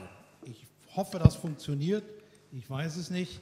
Aber gibt es aus dem Publikum Fragen an uns hier? Ich will nichts erzwingen und wenn das nicht der Fall ist, dann machen wir hier gleich irgendwie weiter. Wie weiß ich auch nicht, aber wir kriegen es schon hin.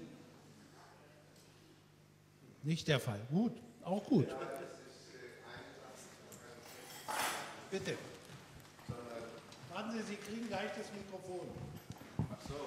Ja.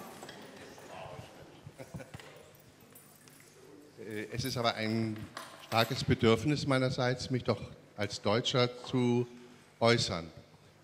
Es hat ein jüdisches Buch gegeben nach dem Zweiten Weltkrieg, Dies ist nicht mein Land. Das hat eine jüdische Lehrerin geschrieben, eine Pädagogin, und die ist nach Israel ausgewandert. Das hat mich sehr beeindruckt, weil ich konnte auch nie sagen, dies ist mein Land. Das heißt also, wenn Sie sagen, Zugehörigkeitsgefühl, ja, wo ist das? Bei den Christen würde ich es nicht einmal suchen. Ja, vielen Dank. Wenn wir, wenn Sie formulieren, dies ist nicht mein Land, kann man aber vielleicht formulieren, dies ist meine Stadt oder dies ist mein Bezirk. Das sei mir dann gestattet. Ähm, geht keiner mit? Nee, dies ist mein Land. Nicht mein, mein, meine Stadt. Und äh, meine Sprache, hören Sie, ist die Sprache dieser Stadt. Ähm, okay. Bitte. Leslie Brenn. Ja, ich glaube, dass äh, für viele deutsche Juden waren doch nicht besonders religiös. Meine Eltern waren es, wir waren liberale Juden, aber viele waren nicht und haben sich ganz von dem Judentum abgewendet. Und es war der, der Nazi-Antisemitismus, der sie wieder zurückgebracht hat in die jüdische Gemeinde, denn sie wurden als Juden empfunden von, der, von den Nazis. Und deshalb waren, sind sie zurückgekommen zu, zu einem Judentum. Also jetzt gibt es den neuen Antisemitismus ähm, in der ganzen Welt. Hat es immer gegeben, wird es auch immer weitergeben. Und ich glaube, der neue Antisemitismus hat sehr zu tun mit den Aktionen der israelischen Regierung. Es tut mir leid, das zu sagen, aber das glaube ich. Die Behandlung der Palästinenser hat sehr viele Menschen antisemitisch gemacht, denn sie verstehen nicht den Unterschied zwischen den Juden in der Diaspora, der Juden in Israel und der israelischen Regierung. Das, das äh, verstehen sie viele Menschen nicht, scheinbar. Also, ich, ich, bin nicht bereit, äh, dir da zu folgen. Nein, aber kann, ich also, soll ja nur moderieren. Also bitte diskutiere ich. Okay. Ähm, weiter Ich habe zu dem, was ich gesagt habe, noch etwas zu, hinzuzufügen. Äh, ich lebe heute in Schweden und wenn mich jemand fragt, ob es Araber, Palästinenser oder, oder wer es auch ist und fragt mich, wer ich bin, dann sage ich, ich bin der Sohn jüdischer Eltern. Da ich meinen Glauben verloren, verloren habe, fühle ich mich trotzdem als Jude, da meine Eltern Juden waren. Und damit, daraus mache ich kein Geheimnis. Ich war in einer Diskussion hier mit Studenten in Berlin und da kam ein äh, türkischer junger Mann. Und es war gerade damals die Zeit, als die Boote nach Gaza gingen und von den, vom israelischen Militär gestoppt wurden. Und er fragte mich in dieser Diskussion, was ich davon denke. Und da sagte ich ihm, erstmal will ich Ihnen etwas anderes sagen. Was mich äh, erschreckt, das ist, dass vor allen jüdischen Einrichtungen in Europa Wachen stehen müssen, um diese zu beschützen.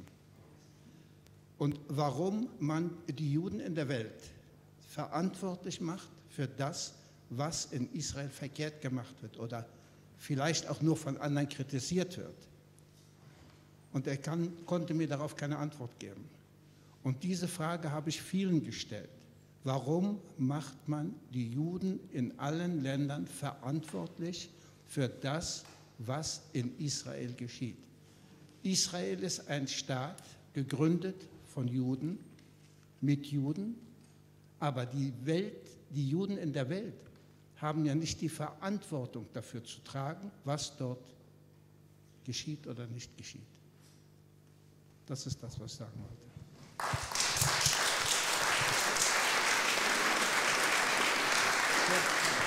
Bitte. Äh, Ich werde Englisch sprechen. Ich hoffe, Sie haben nichts dagegen, weil ich kann mich besser ausdrücken. In Israel, there are more and more people who believe that actually Ju- Judaism, I mean, there's a difference between religious, religion, and the state. In other words, not only the state, but the people. They consider themselves as Israelis, Jews, but as, as a state, not as a religion. They don't believe, I mean, they're not religious, definitely not, but they think it should be more or less, a person should be um, recognized as a, as a um, let's say it the other way. It's a people, never mind the religion. I don't know if you understand what I'm trying to say here. You could be, I mean, maybe you could be Muslim or whatever. In any, in, in any way, Israel won't have a chance. Otherwise, they have to. They have, they have to accept it. So that'll be Israel. You can be Muslim, you can be Christian, whatever. And there are many people, of course, they are against this. They deep relig- uh, religious people, and they believe in it deeply. They go to synagogue every day, and so on and so on. Okay, that's their, that's their, their choice, and it's their problem. But I personally think, well, that's not our time, and I don't want to go too deep into this because I don't want to be philosophizing here. This is, this is not the place for it. But eventually, personally, I believe in so and so many, many years, this whole thing with Judaism, not only Judaism, by the way, I think all religions in the world will change because the outlook of more and more scientists who believe the whole story about Judaism, Christianity, and Islam is actually based on legends. I, I mean, I, I, little thing, I do it very shortly, okay? this is a, a problem, I mean, which much, much deeper than this. But anyway, if you follow history many years, there's no proof of all these, all these things. There's no proof whatsoever. And scientists all over the world, or the, the, the, the leading scientists in the world, they actually believe in what do you call, um, what's it called, the um, um, evolution. Evolution. Millions and millions, billions of years ago it started. We know, know let's go back uh, 50, 60 years. People didn't even know anything about, his, uh, about uh, astronomy, okay? I, it interested me very much years ago, and I started to see the whole world as different. Uh, I'm not a scientist, but I got the understanding. I mean, people didn't, excuse me, even 50, 20 years, 50, okay, 40 years ago roughly, people asked me what I think about the world, about this, and never mind the religion. They didn't, I mean, people didn't even think about it. They thought this is the world all over. But there's only a little nothing. If you, if you take interest in cosmology and you see the whole thing, what are we? What are we? Nothing. So that's why personally I personally I have no belief in any religion. I call it what I told you by the way, I call it um, rec- uh, organized organized religion. Because why? Because it says you have to do this and you have to do that. It's written down. There's this. Believe the Christians are the same. The Jews are the same. All the rest are the same. That's Okay, my, my story, my belief. Also, wir haben, glaube ich, ein klein bisschen uns heute Abend dem Thema genähert. Man könnte das noch endlich, endlos fortsetzen, aber das wollen wir nicht. Mir fällt es schwer, ja? Ein kurzes Wort sei gestattet. Was soll ich machen? Nichts mit dem Thema. Nein, das tut mir leid. Aber ich wollte sagen, dass mein Leben gerettet worden ist durch den Vater von der Renate Becher, Dr. Kurt Krohn, der mich und den Moni Müller auch auf dem ersten Kindertransport nach England geschickt hat. Und ich bin ihm sehr dankbar.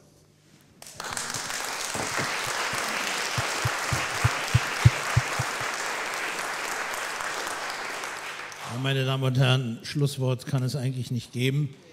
Sie, Frau Becher, sprachen vorhin von der Last der Erinnerung. Das ist richtig, das haben Sie sicher heute alle gespürt.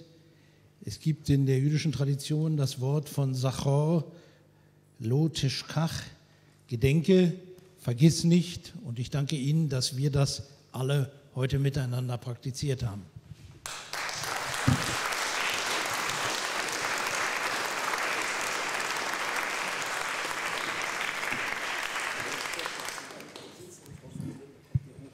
Okay, wir bleiben jetzt alle sitzen. Das ist am, logistisch am besten und ich darf Frau Friedländer bitten, auf dem nicht vorhandenen Stuhl Platz zu nehmen. Wie machen wir das? Der kommt jetzt.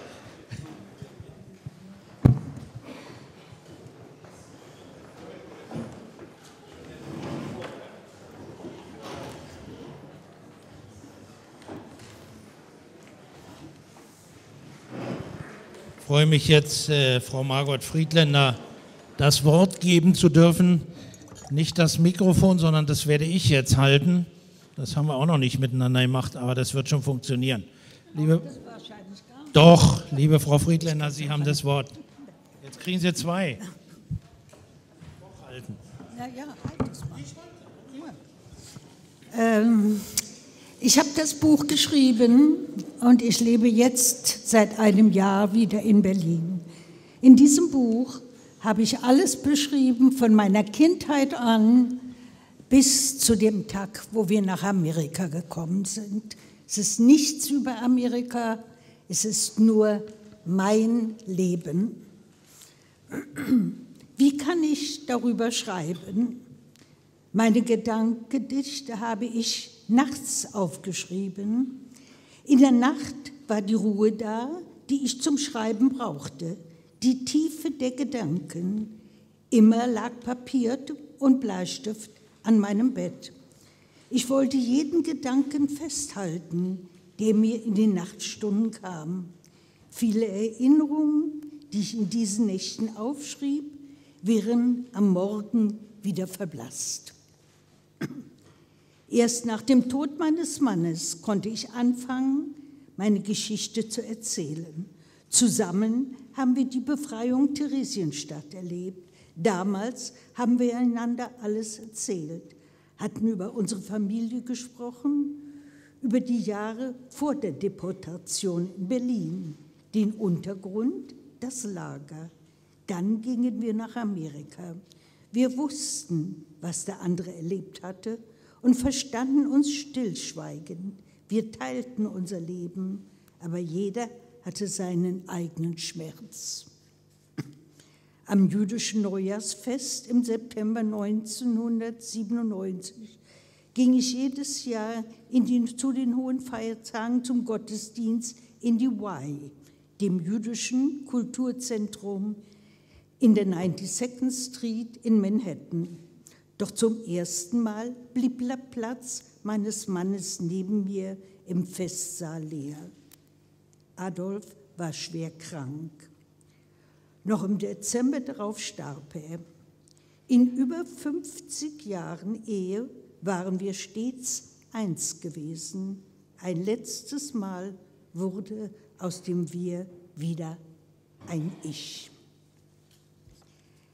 Nach einiger Zeit begann ich, an Veranstaltungen und Kursen der Y teilzunehmen.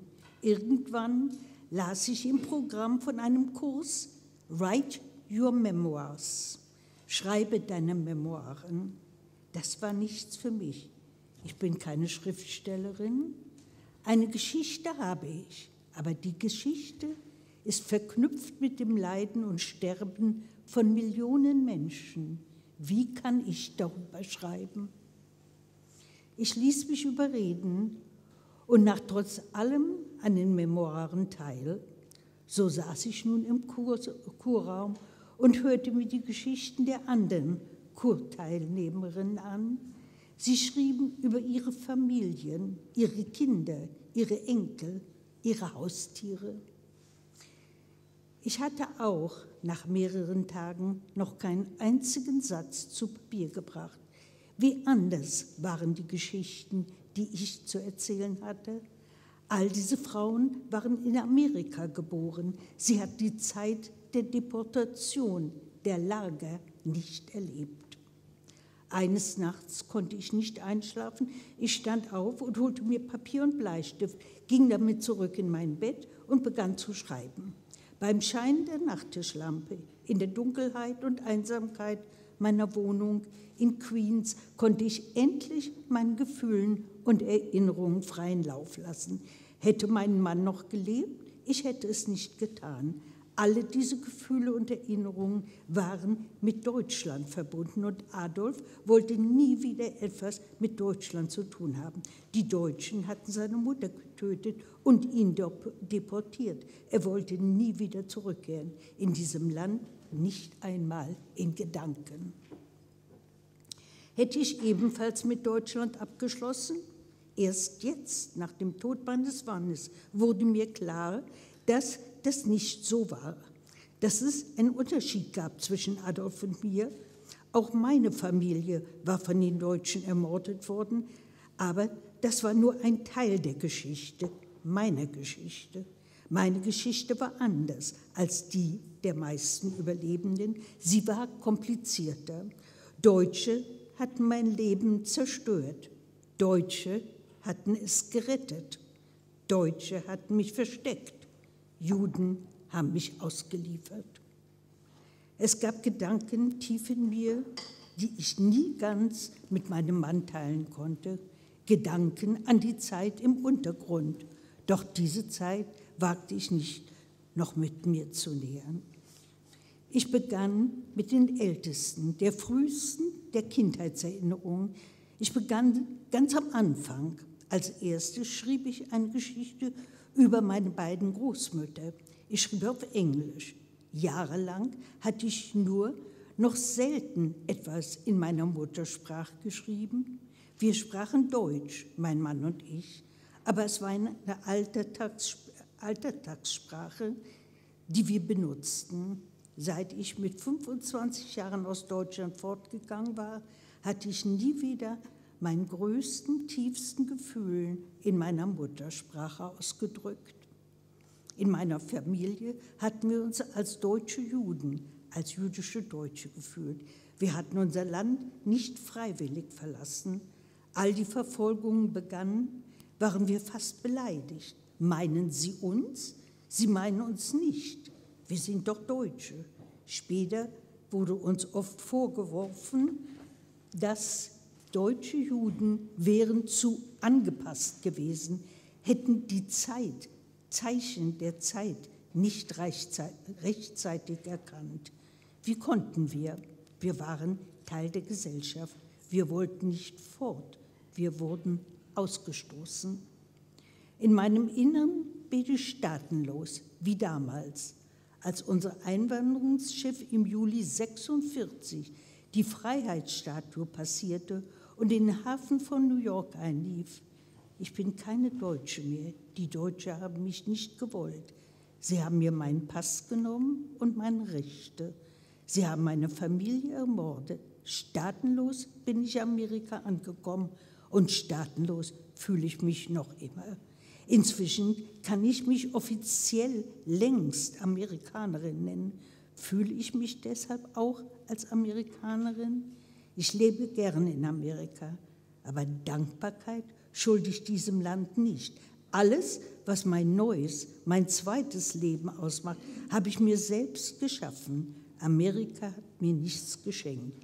Im Gegenteil, damals, noch in Deutschland, als meine Familie und ich wirklich Hilfe gebraucht hatten, hat uns Amerika keine Chance gegeben. Mein Zuhause ist New York, doch wo ist meine Heimat? Ich habe keine Heimat, wie andere Menschen. Ich habe Heimat in der Vergangenheit. Meine Heimat ist ein Land, das es nicht mehr gibt.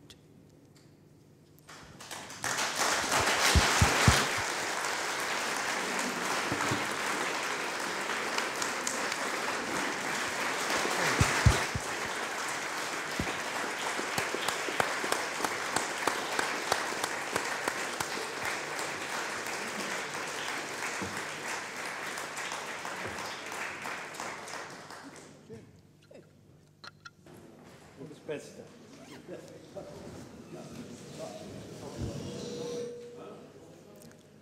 Jemand hat gefragt in der Pause, warum wir Liebeslieder singen. Ja, warum wohl?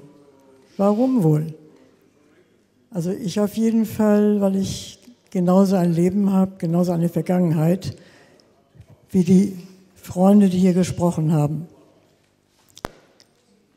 Hier wurde gesagt, dass man es nicht nachvollziehen kann. Ich kann sehr wohl nachvollziehen, ich habe natürlich auch keinen Glauben, ich wüsste nicht woher. Ist mir als kleines Kind abhanden gekommen. Ich kenne aber auch keine Religion, die mir gefallen würde, keine einzige. Soweit ich weiß, trumpft jede Religion auf mit was immer sie sich einbilden, was immer sie weitergegeben haben, fast gerüchtemäßig. Ich weiß nicht wie, man klammert sich daran. Wenn es keine Bedeutung hätte, könnte es mir egal sein. Und jetzt, ach ja, ein kleines unglückliches Liebeslied. Oh Gott.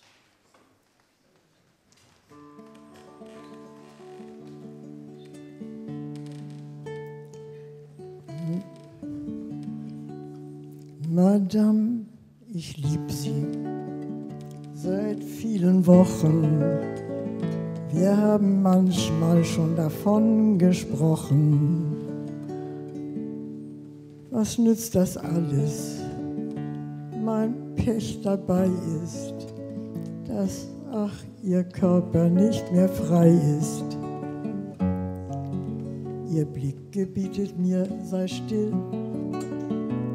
Doch denken kann ich, was ich will. Ihre Hand, Madame, es wie Ihr Mund. Ich bin ja so galant, Madame, doch das hat seinen Grund. Hab ich erst Ihr Vertrauen, Madame, und Ihre Sympathie Sie erst auf mich bauen, Madame. Werden schauen, Madame. Küss ich statt Ihrer Hand, Madame, nur Ihren roten Mund. Wir können noch mehr, wir können noch mehr. Aber was?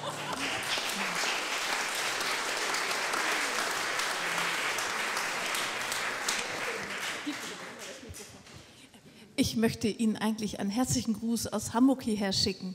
Und was mich bei diesem Thema sehr berührt, ist, dass ich einen Beruf habe, in dem ich versuche, der nachfolgenden Generation zumindest etwas zu vermitteln, was ihnen vielleicht gefällt. Freundschaft, Zärtlichkeit, Optimismus, das Überwinden von Alleinsein. Ich unterrichte nämlich Gitarre und wie Sie sehen, ich halte sie im Arm und in Hamburg haben ganz, ganz viele Kinder jetzt in dem neuen Projekt Jeki Instrumentalunterricht und ich unterrichte ungefähr 100 kleine Kinder in diesem Instrument. Ich glaube, diese Kinder werden zu anderen Menschen freundlich und lieb sein.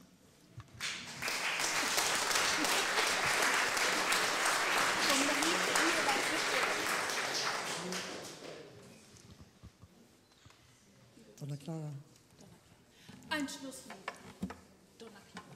Das ist kein? Schlusslied. Kein Schlusslied. Ach Quatsch, nun mal weiter. Quatsch.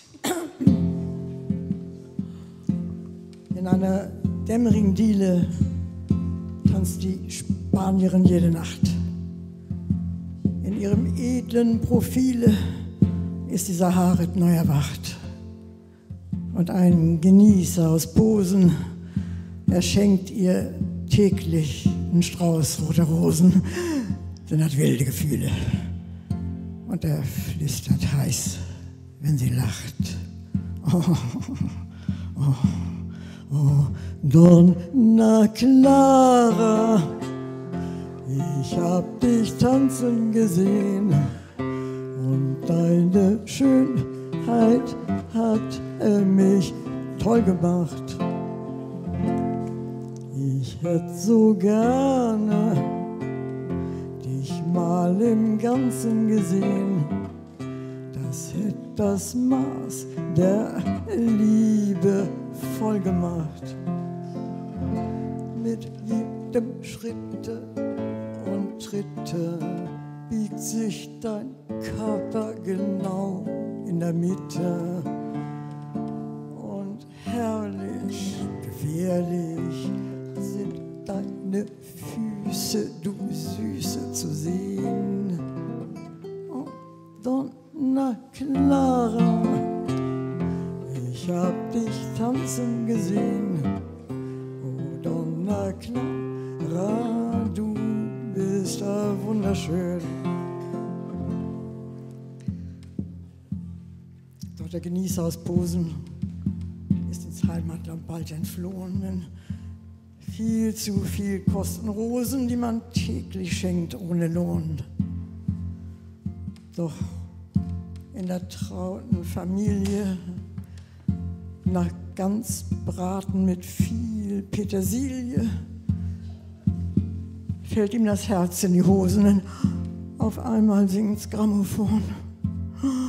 Oh, Donna Clara. Ich glaube, ihr könnt das auch sagen. Ihr klein wart, diese ganzen Dinger habt ihr doch alle gehört, als Kinder. Oh, Don ist auch von einem Juden komponiert und getextet.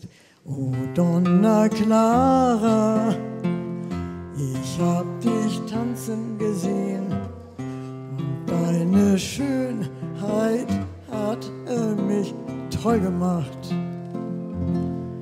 Ich hätte so gerne dich mal im Ganzen gesehen. Das Maß der Liebe voll gemacht. Mit jedem Schritte und Tritte biegt sich dein Körper genau in der Mitte. Und herrlich gefährlich sind deine Füße, du Süße zu sehen. Oh, Donna Clara.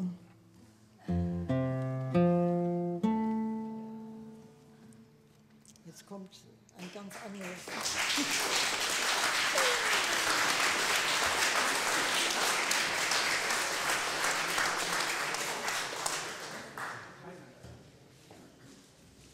Kommt ein trauriges oder so. Warte einen Moment.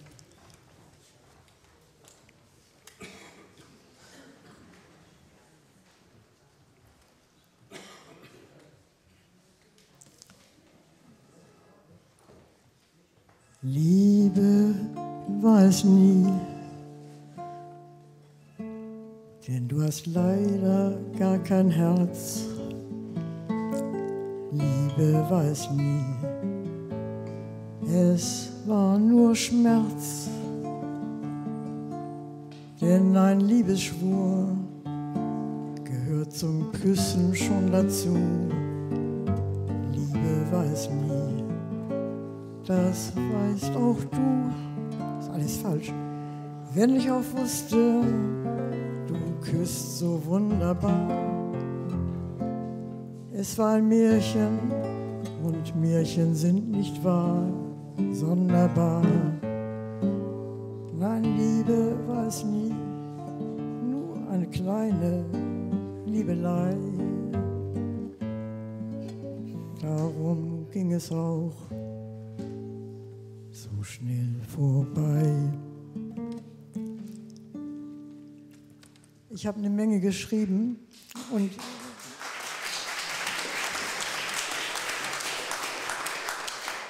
Und ich wollte gern, euch geht es vielleicht nicht allen, aber vielen wie mir. Und ich habe immer, immer, immer von klein auf an Rache gedacht. Ich höre aber in Interviews im Fernsehen zu meiner Überraschung immer wieder Juden sagen, nö, hassen tue ich niemanden. Rächen wollen sie nicht, gar nicht. Und wenn immer ich gehört habe, dass sehr, sehr selten sich ein Jude gerecht hat, war ich doch sehr froh. Jetzt ist gerade ein Freund von mir gestorben, Flamenco-Tänzer Sylvian Rubinstein, ganz Dolores, bis er hoch in den 90ern war, Flamenco tanzte. Und er hat in Frauenkleidern viele SS-Männer umgebracht. Er war unerschrocken, er hat es gewagt, er hat es getan und ich freue mich darüber. obwohl das auch nichts geändert hat. Ich selber habe mich leider nie rächen können, weil man sich immer erst rächen kann, wenn der andere schwächer ist. Und wenn er schwächer ist, kann ich nicht mehr. Und jetzt will ich äh, ein, Lied singen für uns Waisenkinder und für andere. Ein Lied, das ich immer sehr schön fand, aber noch nie gesungen habe. Ich wäre auch nie auf die Idee gekommen, dass ich singen könnte wenn ich hier, hier gebeten worden ist, jüdisches Lied, ja was für ein jüdisches Lied denn?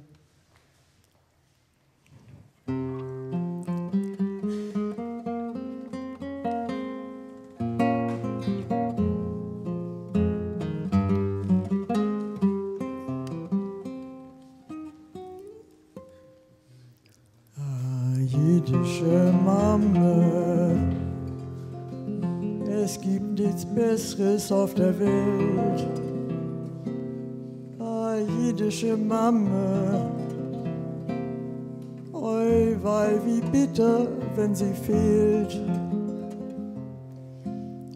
Oh, wie glücklich und schön ist zu Haus, wenn die Mama da und wie finster und bitter, wenn sie nicht mehr da. Durch Wasser und Feuer ist sie gelaufen für ihr Kind. Sie nicht zu lieben und lieben, das ist bestimmt die größte Sünde. Glücklich und reich ist der Mensch, der eine Mama hat, eine gesegnete Mama. Es gibt keine bessere Mama als die jüdische Mama mein.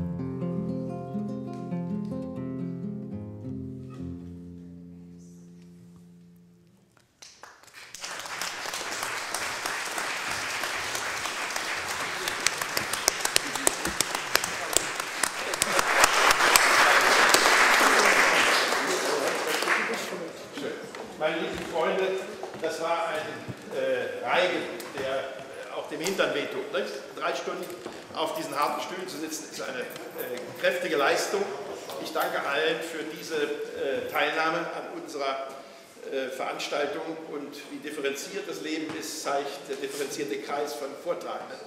Äh, das muss man insgesamt sehen, dann hat man eine andere Einstellung zu allem. Also, ich wünsche uns einen schönen Verlauf.